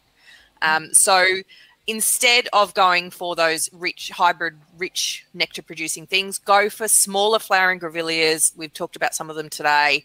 Um, they're beautiful. I, I think it's i actually think it's more that people don't get exposed to what a lot of these plants look like so they don't know they're out there to choose them There- um, There's another reason why too, and that is if you go to your local nursery, of which there are very, very few nowadays, Mm-hmm. that's what's in stock. yes That's So- sells, so if, if you stock. don't know if you don't But- know what's but- out there you Yeah. if you But can't get a hold of it it makes it hard to put it in the ground But before we finish up, we'll talk more about plant availability and selection. But Holly, where, where I was kind of going from, feel free to criticize me for my um, uh, disgusting base human uh, habit. Uh, I regularly go across to the park and broadcast um, a wild bird mix and encourage the birds that are here. I I know that a lot of people say you should not feed wild birds, Mhm. and I'm going to also mention a few things that I think you should not do. But in my defence, as a um, as a bird feeding criminal, Mhm. uh, I don't put it out. I don't put it out every day. I don't put it out in the same spot, and I don't put it out in the same density, so that the birds, be they introduced birds or the native birds, can't form the habit that breakfast or lunch is going to be there regularly all the time. They must go and forage elsewhere. Yeah. so God, bird feeding could be a whole nother podcast Guys. Well, maybe it will be, guys. Yep. so I might, I'll just break there. We did do more podcasts about bird feeding uh, and got uh, Professor David Phalen from the uh, vet school at the University of Sydney, and we talked about the uh, lorikeet paralysis disease and cockatoos and lorikeets, obviously. I don't feed anymore, so they they turned me around. So uh, you're right. So we know that um, we tend to feed the birds that are doing really well anyway. And by feeding, I mean intentionally going and putting out seed, meat, Yes. Yep. nectar mixes, In- fruit. Um, Interventionist, opportunist, Yeah. uh, opportunistic feeding that would not be available on plants by plants or other things like like beetles and bugs and And then if you move away, you're not feeding anymore, and that disrupts That- the whole thing too. yeah. that's so that's the key point about not doing it regularly all the time the same way. Birds will In- depend on it. Hmm, that's a bit of a myth, actually. Interestingly, Ooh. there's actually not a lot of evidence that birds become dependent on people, despite the puppy dog eyes they may give. Um, and sometimes, if it's the cockatoos and things, the destructive behaviour that might happen afterwards. Um, birds don't tend to become dependent on us for food. They will still go and forage naturally. They won't starve if you stop feeding them. But we don't want to get to that point. So it's about if you are going to feed birds, in an urban environment, there's really no need to. It's more something for us. Um, but that connection to nature is really important. And, Yeah, and I'm that's not why I dismissing do it. that. That's why I I've got a funny story too at the end here. Okay, so establishing that connection to nature is great. We need people to care, and and feeding birds is one way that that people can care. But we want to make sure we do it responsibly. So if you are going to do it, it's about doing it infrequently. So it's not something that where you know you get fifty cockatoos showing up expecting their their breakfast, um, because it becomes a problem for your neighbours as well. It's it, it then can create some animosity there that you're feeding appropriate foods. So you are not feeding sugar and water. If avoiding mince, mince is really sticky. Yeah. Um, and again, that whole it's not a whole food. So if you are going to do some stir fry strips, coat it in some calcium powder or something so that it's a little bit more nutritious. Um, alternatively, dog food is, is one of the better options for meat eaters. But thinking Can- about the can I consequences of eating eating meat, but yes, go for it. Sorry, Holly. I, I had a beautiful suggestion from Dr. Claire Greenwell, who uh, listeners to my show will know as Australia's fairy tern expert. Uh, when we were talking about this in on Twitter uh, a month or two back, um, we uh, uh, uh, we will uh, we we talked about feeding magpies and butcher birds and things like that. I suggested mealworms, growing mealworms and things like that as a former child horticulturist. Um, Claire said bloodworms, and I researched it. They're commercially available. Claire gave me a link, and I'm happy to share that out with anyone who contacts me and asks for it. Um, but bloodworms have all those kind of things, Dan skeletons, exoskeletons, gizzards, all the good stuff that they're eating. So they're a whole food Of course, birds they don't have gizzards. And butcher birds, currawongs, and whatnot that will come in. Even blackbirds, grey shrike, thrush, the black-faced cuckoo, shrikes, kookaburras, all those kind of things. So uh, sorry for introducing, uh, interrupting Holly, but I thought that we would never get back here, and I wanted to give people the opportunity to chase me up for that because that was a great suggestion from Claire. Um, solves all of the problems of providing protein to those uh, insectivorous and carnivorous birds that visit us. So, thanks, Claire. That's a great Holly, one. That's Off a great you go. one. Um, I've I've sort of thought about mealworms and things before. Apparently, mealworms are not particularly enticing, which is really surprising. 'cause I know my chickens go nuts when they they get That- put out. well, but that's what- bloodworms is a really great one. That's what I was thinking. Yeah, I mean, it, try and get a quail or a duck to give up a mealworm. but no, that's what that's what Claire was telling me. And look, hey, she's like you, Holly. She's a doctor, and she's a good bird Well. doctor. So I'm who am I to argue?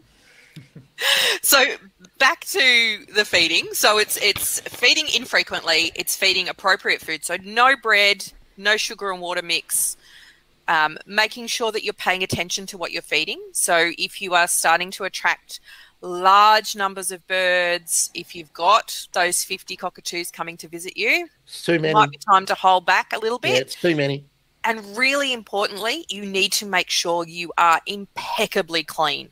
So if you are using any sort of feeding tray, that it is as soon as you finished, it is scrubbed down, it is cleaned, it is allowed to dry in the sun.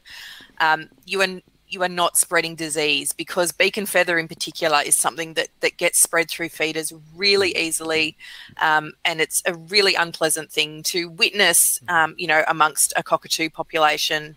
Um, and so we want to make sure that we are impeccably clean when, when we're doing this.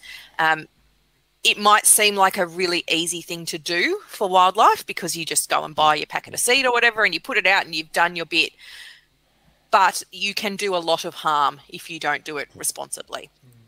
So, having said that, as I said before, it is a really nice way to feel connected with with your local bird life, and that connection to nature is critical if we are going to save these things.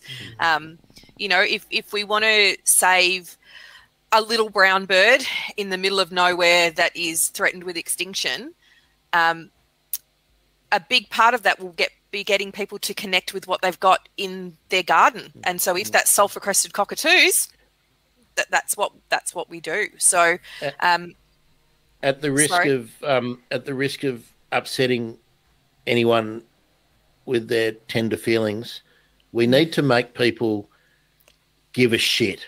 Actually, g- give an actual shit about birds um, and frogs and newts. Oh, we don't have newts much in Australia, but uh, fish and yabbies and frogs and rib, uh, rabbits and no, no, not rabbits. I was thinking Yeah. soft furry things.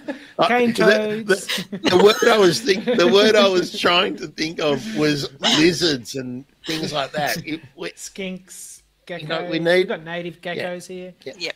Dan, tell us your funny story before I run off in, onto another tangent. Yeah, I'm glad I got to get this one in. So my family, when we were growing up, for a period of time anyway, we we lived um, we backed onto a um, a footy oval, and we used to feed the um, feed the um, magpies just yeah stir fry strips. We didn't know any better back then, so yeah, just feeding them stir fry strips. Thought that was all good.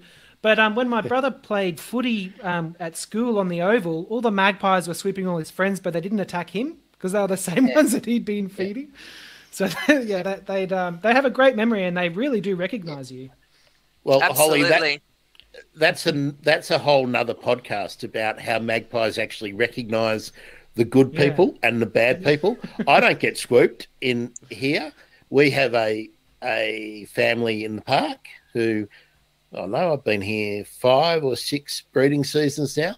I don't get swooped. All of my male neighbours do, or all the old men do, because they're out there throwing rocks at them and chasing them off their lawn and whatnot. They know who you are, and they they get you. Um, And you can feeding. get to learn who they are too. Like you might Absolutely. say this one's daddy, this one's mummy, and this one's the baby. Absolutely. Now, I, I just wanted to throw in, Holly, that if people don't, if they want to feed the beautiful nectar feeding birds, Mhm. sugar and water is bad. Um, honey and water in those old bo- bottle feeders are bad because that can go fermenting. But there are products out there that you can buy that are specially formulated for nectar feeding birds. yes. Do you do you suggest people seek them out and use them? over any of those other options? Absolutely. Um, so yeah you can get them at your pet supply store. They're available as like a dry mix or a wet mix. Um, but again especially if it's a wet mix it can turn nasty very quickly um, especially if you're feeding in summer. So make sure that you any food you're putting out regardless of what it is it's not available for a long period of time.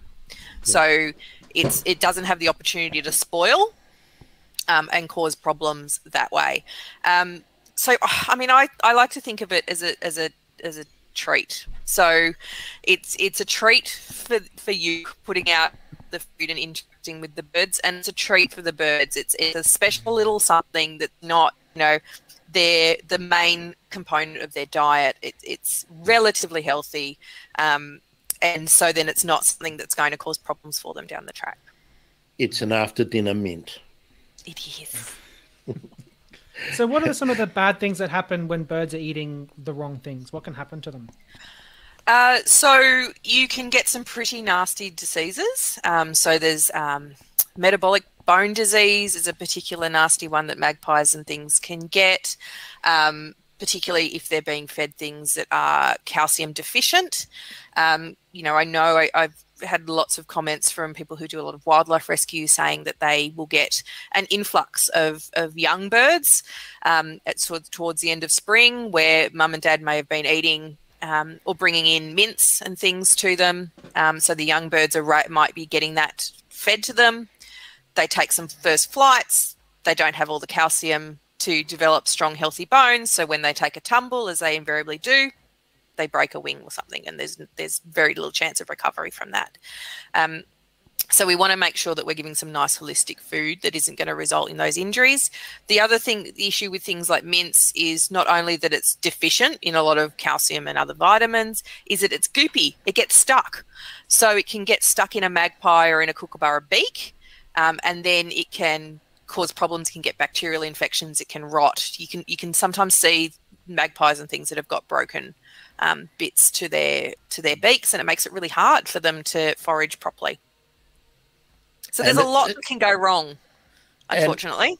And it's much better if the magpie is strolling around your garden or your park or your neighborhood, eating grubs in the soil from the soil and crickets and little skinks and things like that, way before they're rocking up to your your back door, your porch, and taking a lump of cheese out of your hand. Mm-hmm.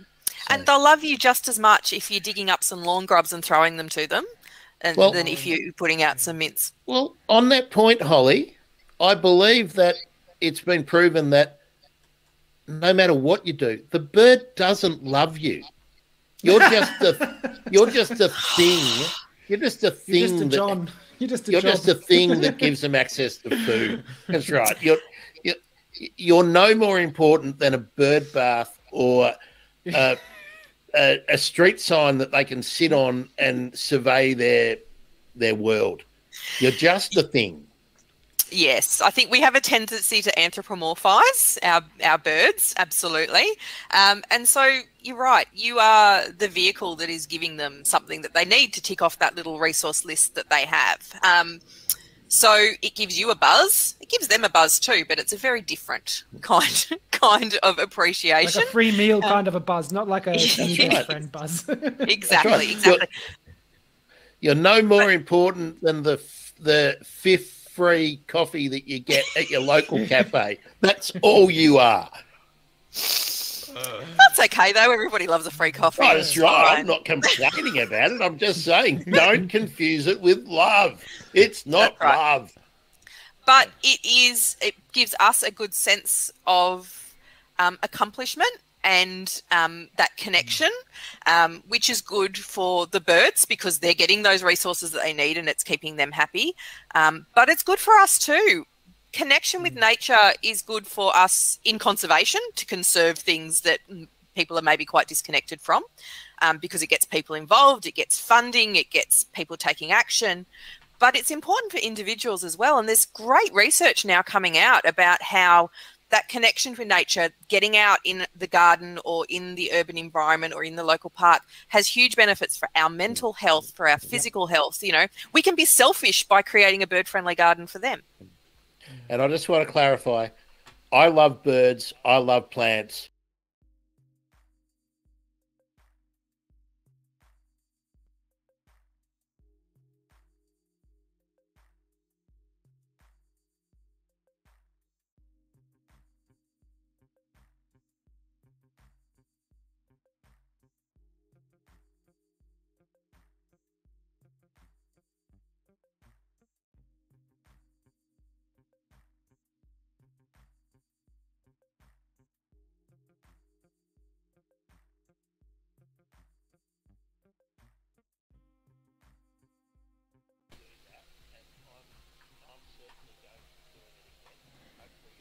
I got dropped out.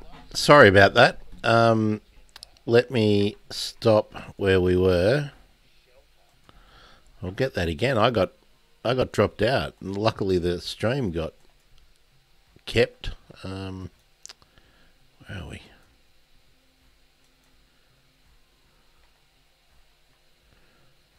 There we are. I'll just take it back a little bit. I don't know what happened there. Isn't it great? What a rubbish internet we've got. Um,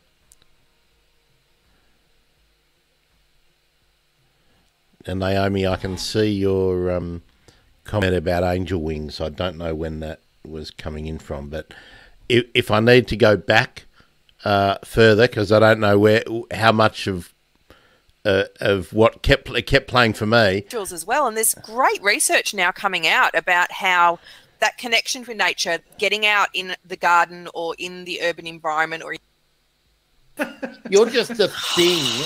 You're just a thing. You're just a John. You're just a you're John. Just, I think that's um, about it. Bits Where to it their off, to their beaks, and it makes it really hard for them to forage properly. So there's And a lot it- that can go wrong, unfortunately. and it's much better if the magpie is strolling around your garden or your park or your neighborhood, eating grubs in the soil from the soil and crickets and little skinks and things like that, way before they're rocking up to your your back door, your porch, and taking a lump of cheese out of your hand. And they'll love you just as much if you're digging up some lawn grubs and throwing them to them, and Well- than if you're putting out some mince. Well, on that point, Holly, I believe that it's been proven that no matter what you do, the bird doesn't love you. You're just a you're just a thing. You're just a thing. You're just a that- John. You're just a you're John. just a thing that gives them access to food. That's right. You're you're, you're no more important than a bird bath or a, a, a street sign that they can sit on and survey their their world. You're just a thing. Yes, I think we have a tendency to anthropomorphize our, our birds, absolutely. Um, and so you're right, you are the vehicle that is giving them something that they need to tick off that little resource list that they have. Um, so it gives you a buzz, it gives them a buzz too, but it's a very different kind kind of appreciation. like a free meal Um, kind of a buzz, not like a new right. best friend buzz. exactly, right. exactly. You're no more important than the the fifth free coffee that you get at your local cafe. That's all you are. That's okay though. Everybody loves a free coffee. Right, that's right. fine. I'm not complaining about it. I'm just saying, don't confuse it with love. It's not right. love. but it is it gives us a good sense of um, accomplishment and um, that connection um, which is good for the birds because they're getting those resources that they need and it's keeping them happy um, but it's good for us too connection with nature is good for us in conservation to conserve things that mm, people are maybe quite disconnected from um, because it gets people involved it gets funding it gets people taking action but it's important for individuals as well. And there's great research now coming out about how that connection with nature, getting out in the garden or in the urban environment or in the local park, has huge benefits for our mental health, for our physical health. You know, we can be selfish by creating a bird friendly garden for them. And I just want to clarify I love birds, I love plants, but they don't love me. Right, You're okay with at. that. All right. Now, it can be a bit I- I watch- one-sided. we can love them. I, I'm watching the time and I'm uh, mindful of how long we've been uh, uh, going with useful information, Holly and Dan, and droning on from me. But uh, I, I want to I, want to put you both on the spot. I want to leave plant selection because that's a massive topic, Yeah. uh, and and perhaps uh, bordering on design issues. I want to leave that for the next time we do that, and I'm I'm certainly going to be doing it again. Hopefully, you're both going to join me. Yep. The last thing that I want to put on the agenda for today is the issue of shelter, and if we can talk about shelter for protection. Uh, sh- we've talked about temperature a bit briefly, but then we've got things like roosting and we've got breeding. and Dan, you can go go for your life on hollows here.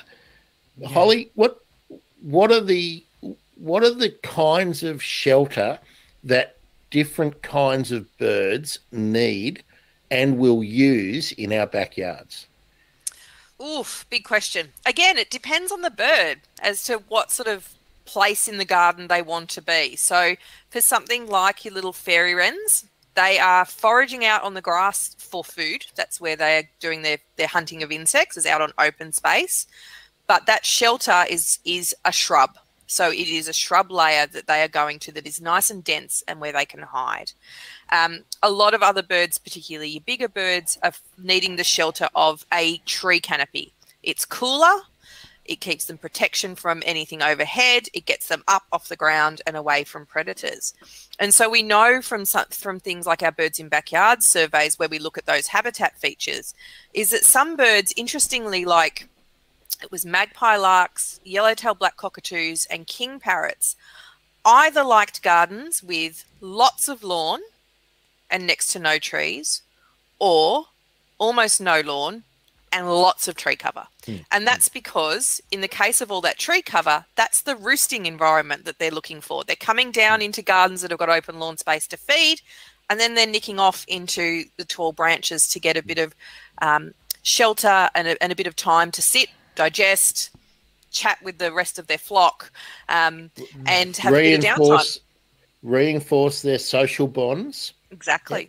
And Holly, you know a lot about fairy wrens when I interviewed Ettore for my my podcast, yes. and we talked about the complex social nature of fairy wrens, I found out they all roost together, so they actually need like a long, uh, uh, comparatively long branch where a dozen or twenty of them can actually all huddle up together at night. Um, yeah, absolutely. I, I, I didn't realize. I thought they'd maybe would utilize an old nest or something like that, but they don't. They need that.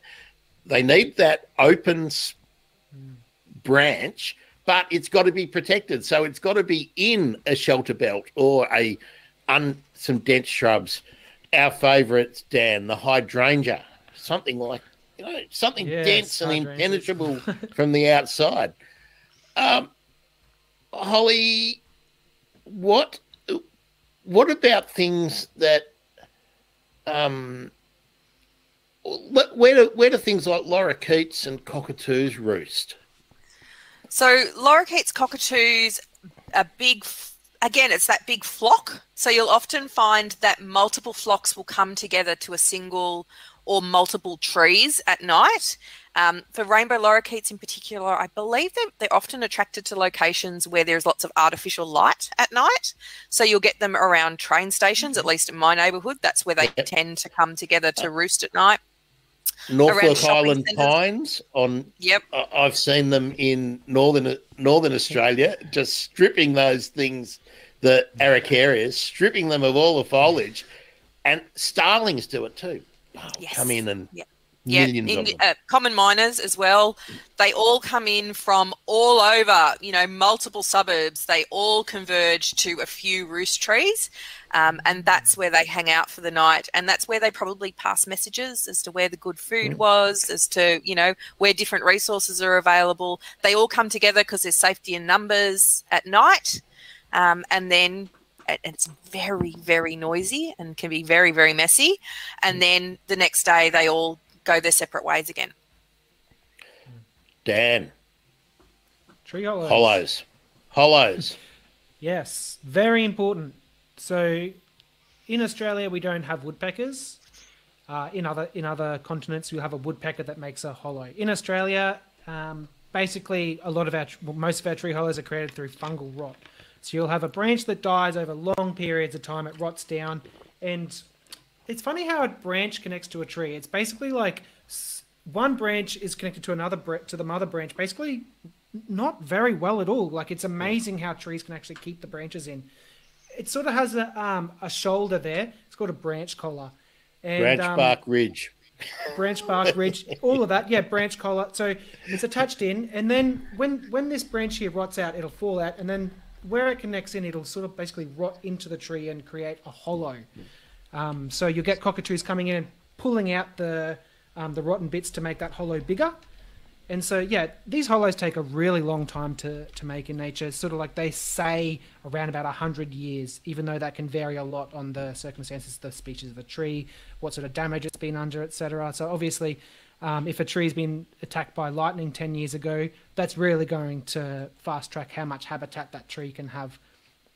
So, yeah, but, but in horticulture, the advice is generally to go around and um, cut out any of the dead wood. You don't want dead wood because it rots into the tree yeah, 100% true. It is going to damage that tree, but that damage is what creates habitat for for um, mm. for these yeah net, tree nesting birds and other things. So whether it's just a um, a tiny little five cent piece opening of a hole, or whether it's a giant thing that a human being can step inside of down the bottom of the uh, just on the trunk of the tree, um, all of these different sized habitats are really important for plants. Uh, for for, for habitat. And They're not important for, for plants. They're not good for plants. no, for insects, for yeah. uh, mammals, for birds, for uh, all the little invertebrates and whatnot. So, and that, of course, provide food. Now, we we uh, we can probably talk about hollows as a whole separate. Um, I did. I spoke about it for a session. Well, yeah. I've got um, my next episode of the Bird Emergency is about lyrebirds um, and the Albert lyrebird. But after that, I have a two part series where we're talking with Mick Kellen from Habitat Habitat oh, Australia cool. about his recent work and their uh, fantastic, um, uh, fantastic work on hollows. So don't miss that. And then following that up with Leanne Woolley and her work on Gouldian finches who are very, very, very, very picky about what kind of hollow will uh, constitute a breeding opportunity for them. And of course, Leanne is with WWF uh, in northern Western Australia. So um, she knows what she's talking about. Uh, yeah. So, uh, well, I'll be tuning into folks, that one. That'll be excellent. Before we before we wrap up, uh, we've can I just say two got, more things before we wrap up? Mate, you can you can say you. a lot of things. I just want to say to the people who are watching because we do have eyeballs um, watching us, which is great, and thanks for sticking with us all the way. Uh, if there's anything you want to ask now, now is the opportunity to whack it in the comments, and we'll we'll get onto it before we uh, before we do wrap this up. And Dan, um, you've got an opportunity in a in a second.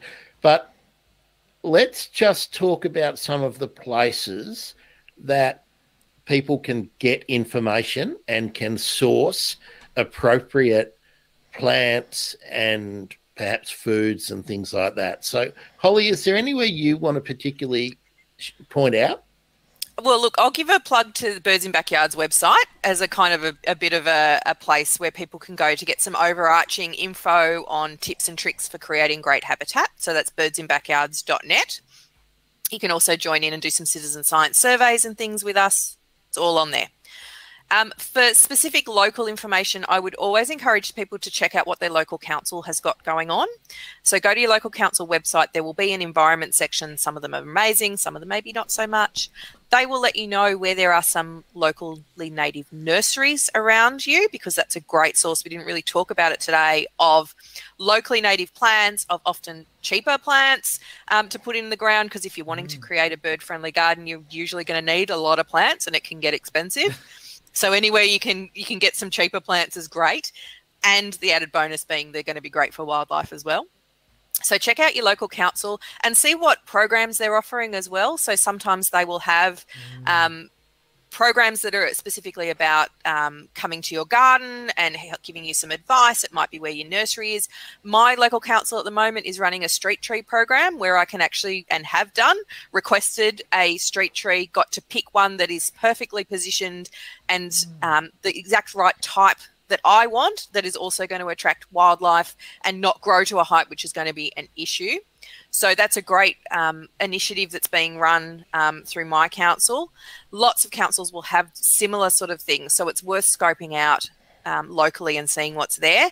If there's nothing there, contact your council and and say you want these sort of biodiversity programs you want to go about creating habitat um, and you want to know that that's an important issue for you because until we tell them that that's something that we want they, they may not provide it for us so so you need to make some noise and let them know dan yeah look um, all three of us here today in this chat have got some great resources so obviously i'm going to be pointing people to the bird emergency podcast check that out I'm also going to be sending people to BirdLife Australia, the website there. Make sure you guys checking that out. Also check out the Plants Grow Here website. We focus a lot more on gardening, but ecology is a huge part of what we do. So um, yeah, you're going to learn about plants on here. We've got a couple of episodes that I particularly point you to, which was 27 uh, hab- trees as habitat and also 28 wildlife assist and also episode three native gardening. A lot of that information has been talked about in here, but yeah, you'll get a lot more as well. I also mentioned at the start uh, John Dengate's book, Attracting Birds to Your Garden in Australia. So that that'll keep you guys busy. So that should uh, now, keep you yeah quite busy. um, Go on, man. We were talking about. Um, on, we've just got another uh, another message in here, which I'll just put up on the on the screen. Uh, these days, I struggle to get good tube stock, things like Hakea nodosa or Tasmanian species. Now, that's a perfect segue to what I was just about to say because I did once run a uh, a nursery that was basically all about native wildlife habitat and uh, indige stuff. And in a previous life, I was also a land care coordinator for a regional area. I have in the bowels of my computers, I think it's actually in my Google Drive, um, a lot of these contacts. And I also have a timetable of things like Banksias and Grevilleas and Melaleucas and Callistemons that flower all year and seed bearing plants that flower all year. So you can actually have a calendar of opportunity for your garden. Now, I'm happy to um, provide those to anyone. The way to get it is to uh, email me, grant at thebirdemergency.com, or if you're not an email person, but you're a Twitter person, at Bird Emergency. Uh, follow me. I generally follow back. If I if I don't, um, give me a nudge and DM me. Give me your details, and I'll make those things available to you. I've got to be honest. I've got 40 episodes of the Bird Emergency to get done on the website, which is happening this week. So I. I'll just stop there. That list will actually, I'm refreshing it now, um, and it will be available when Patreon and um, and another membership option open up in January. So I'll I'll be making all these resources available um, but the free ones will be, you know, maybe ten, uh, or maybe for for the flowering calendar, maybe I'll recommend one thing for each month, so you'll get twelve plants perhaps. But uh, for the detailed one, which is hundreds of plants uh, over the year, uh, with the there's the seed one as I mentioned as well. I've also got colours and um, yeah. Um, developing out these lists, but they'll be for patrons uh, and members as those options come up. Um, so yeah, that was pretty good. By the way, Naomi, um, I'm I'm glad we fixed your pond. Won't get PDFs up on the website for that yet, but they will be. They will be coming. Have the you considered putting thing, an RSS feed? You can just get you can just pull. Yeah, you can I, get a little I, player and pull it. Yeah, I, I, I, no, I've got my episodes on there. No, no, no, no. Yeah. Um, what? Uh, look, I don't want to make it all about me, but it's all about me at the moment. Um, what do you think about me? Yeah, yeah. That, that that that that's enough about me. What do you think about yeah. me? I think isn't that the line? That's um, me going on about myself. uh, no, my, my website. I I've been I run out of time to get things done, but I'm going through now, just putting all the links. Not only do I put the episodes up, but uh, for the people who have moved on, the guests who are now doing other things, I'm updating and putting their publications in and all that. That all takes time, so that you will get more than listening to the podcast on on the site, which because it's all about helping people find other people. That's what it's all about. What I would say is, oh, look, we've got another great comment before I get in here. This is useful. Uh, flowering gardening is Mount Annan's. Oh, yeah, Dr. Judy McLeod's fragrant native gardens. That's a beauty. Um, let me let me add to that. Actually, uh, is Gwen Elliott with her all of her container gardening and small gardening books. You can still find them. So that's Gwen Elliott and Roger Elliott. If you search Roger Elliott, and actually, I'll, on the uh, when I eventually get this page done, I'll put all these up on there. But don't forget your local land care groups, your friends of, like in Melbourne, we've got Merri Creek, and then you've got all the little local grasslands and things mm. like that. But every area has friends of groups, mm-hmm. field nats. Look up the field field naturalists. There's so many places to get good information. So uh, look it out, and of course, get involved. Citizen science, get involved. And one birds, last naturalist.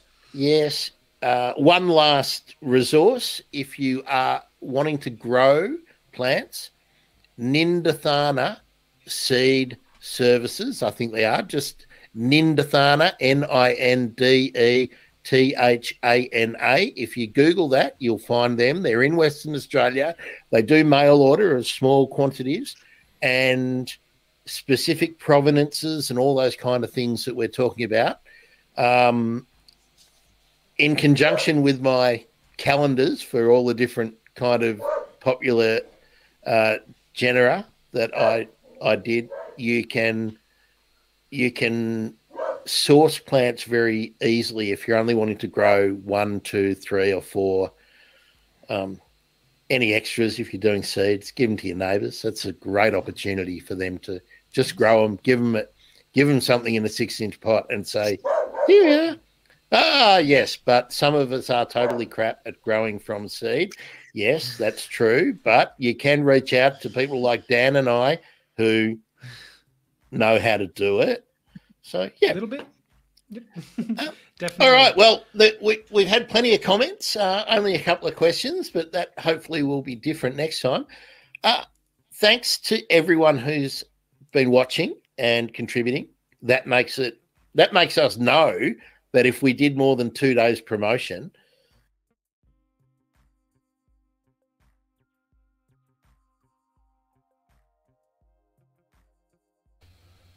rookie error. I'm going to wrap that up there and say thank you. Now at 3:30, I'm I'm back.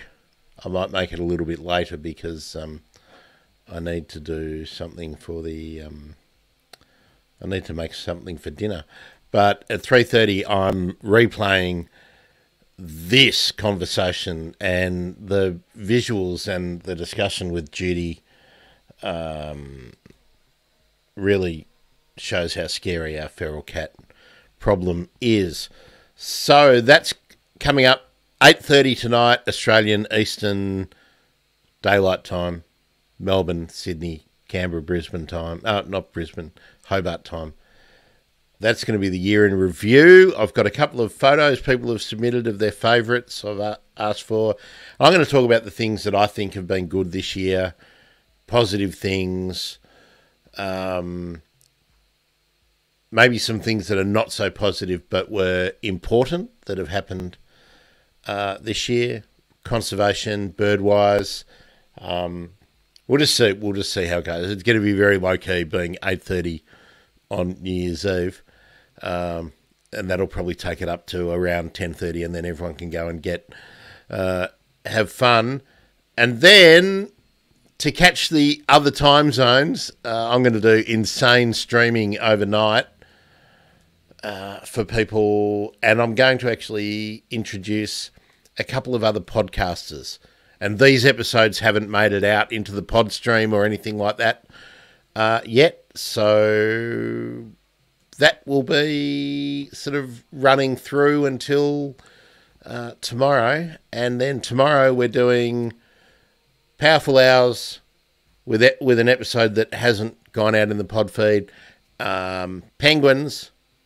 Um, a couple of other things I can't remember. Oh, and then the um, look ahead to next year and the the survey that I put out to.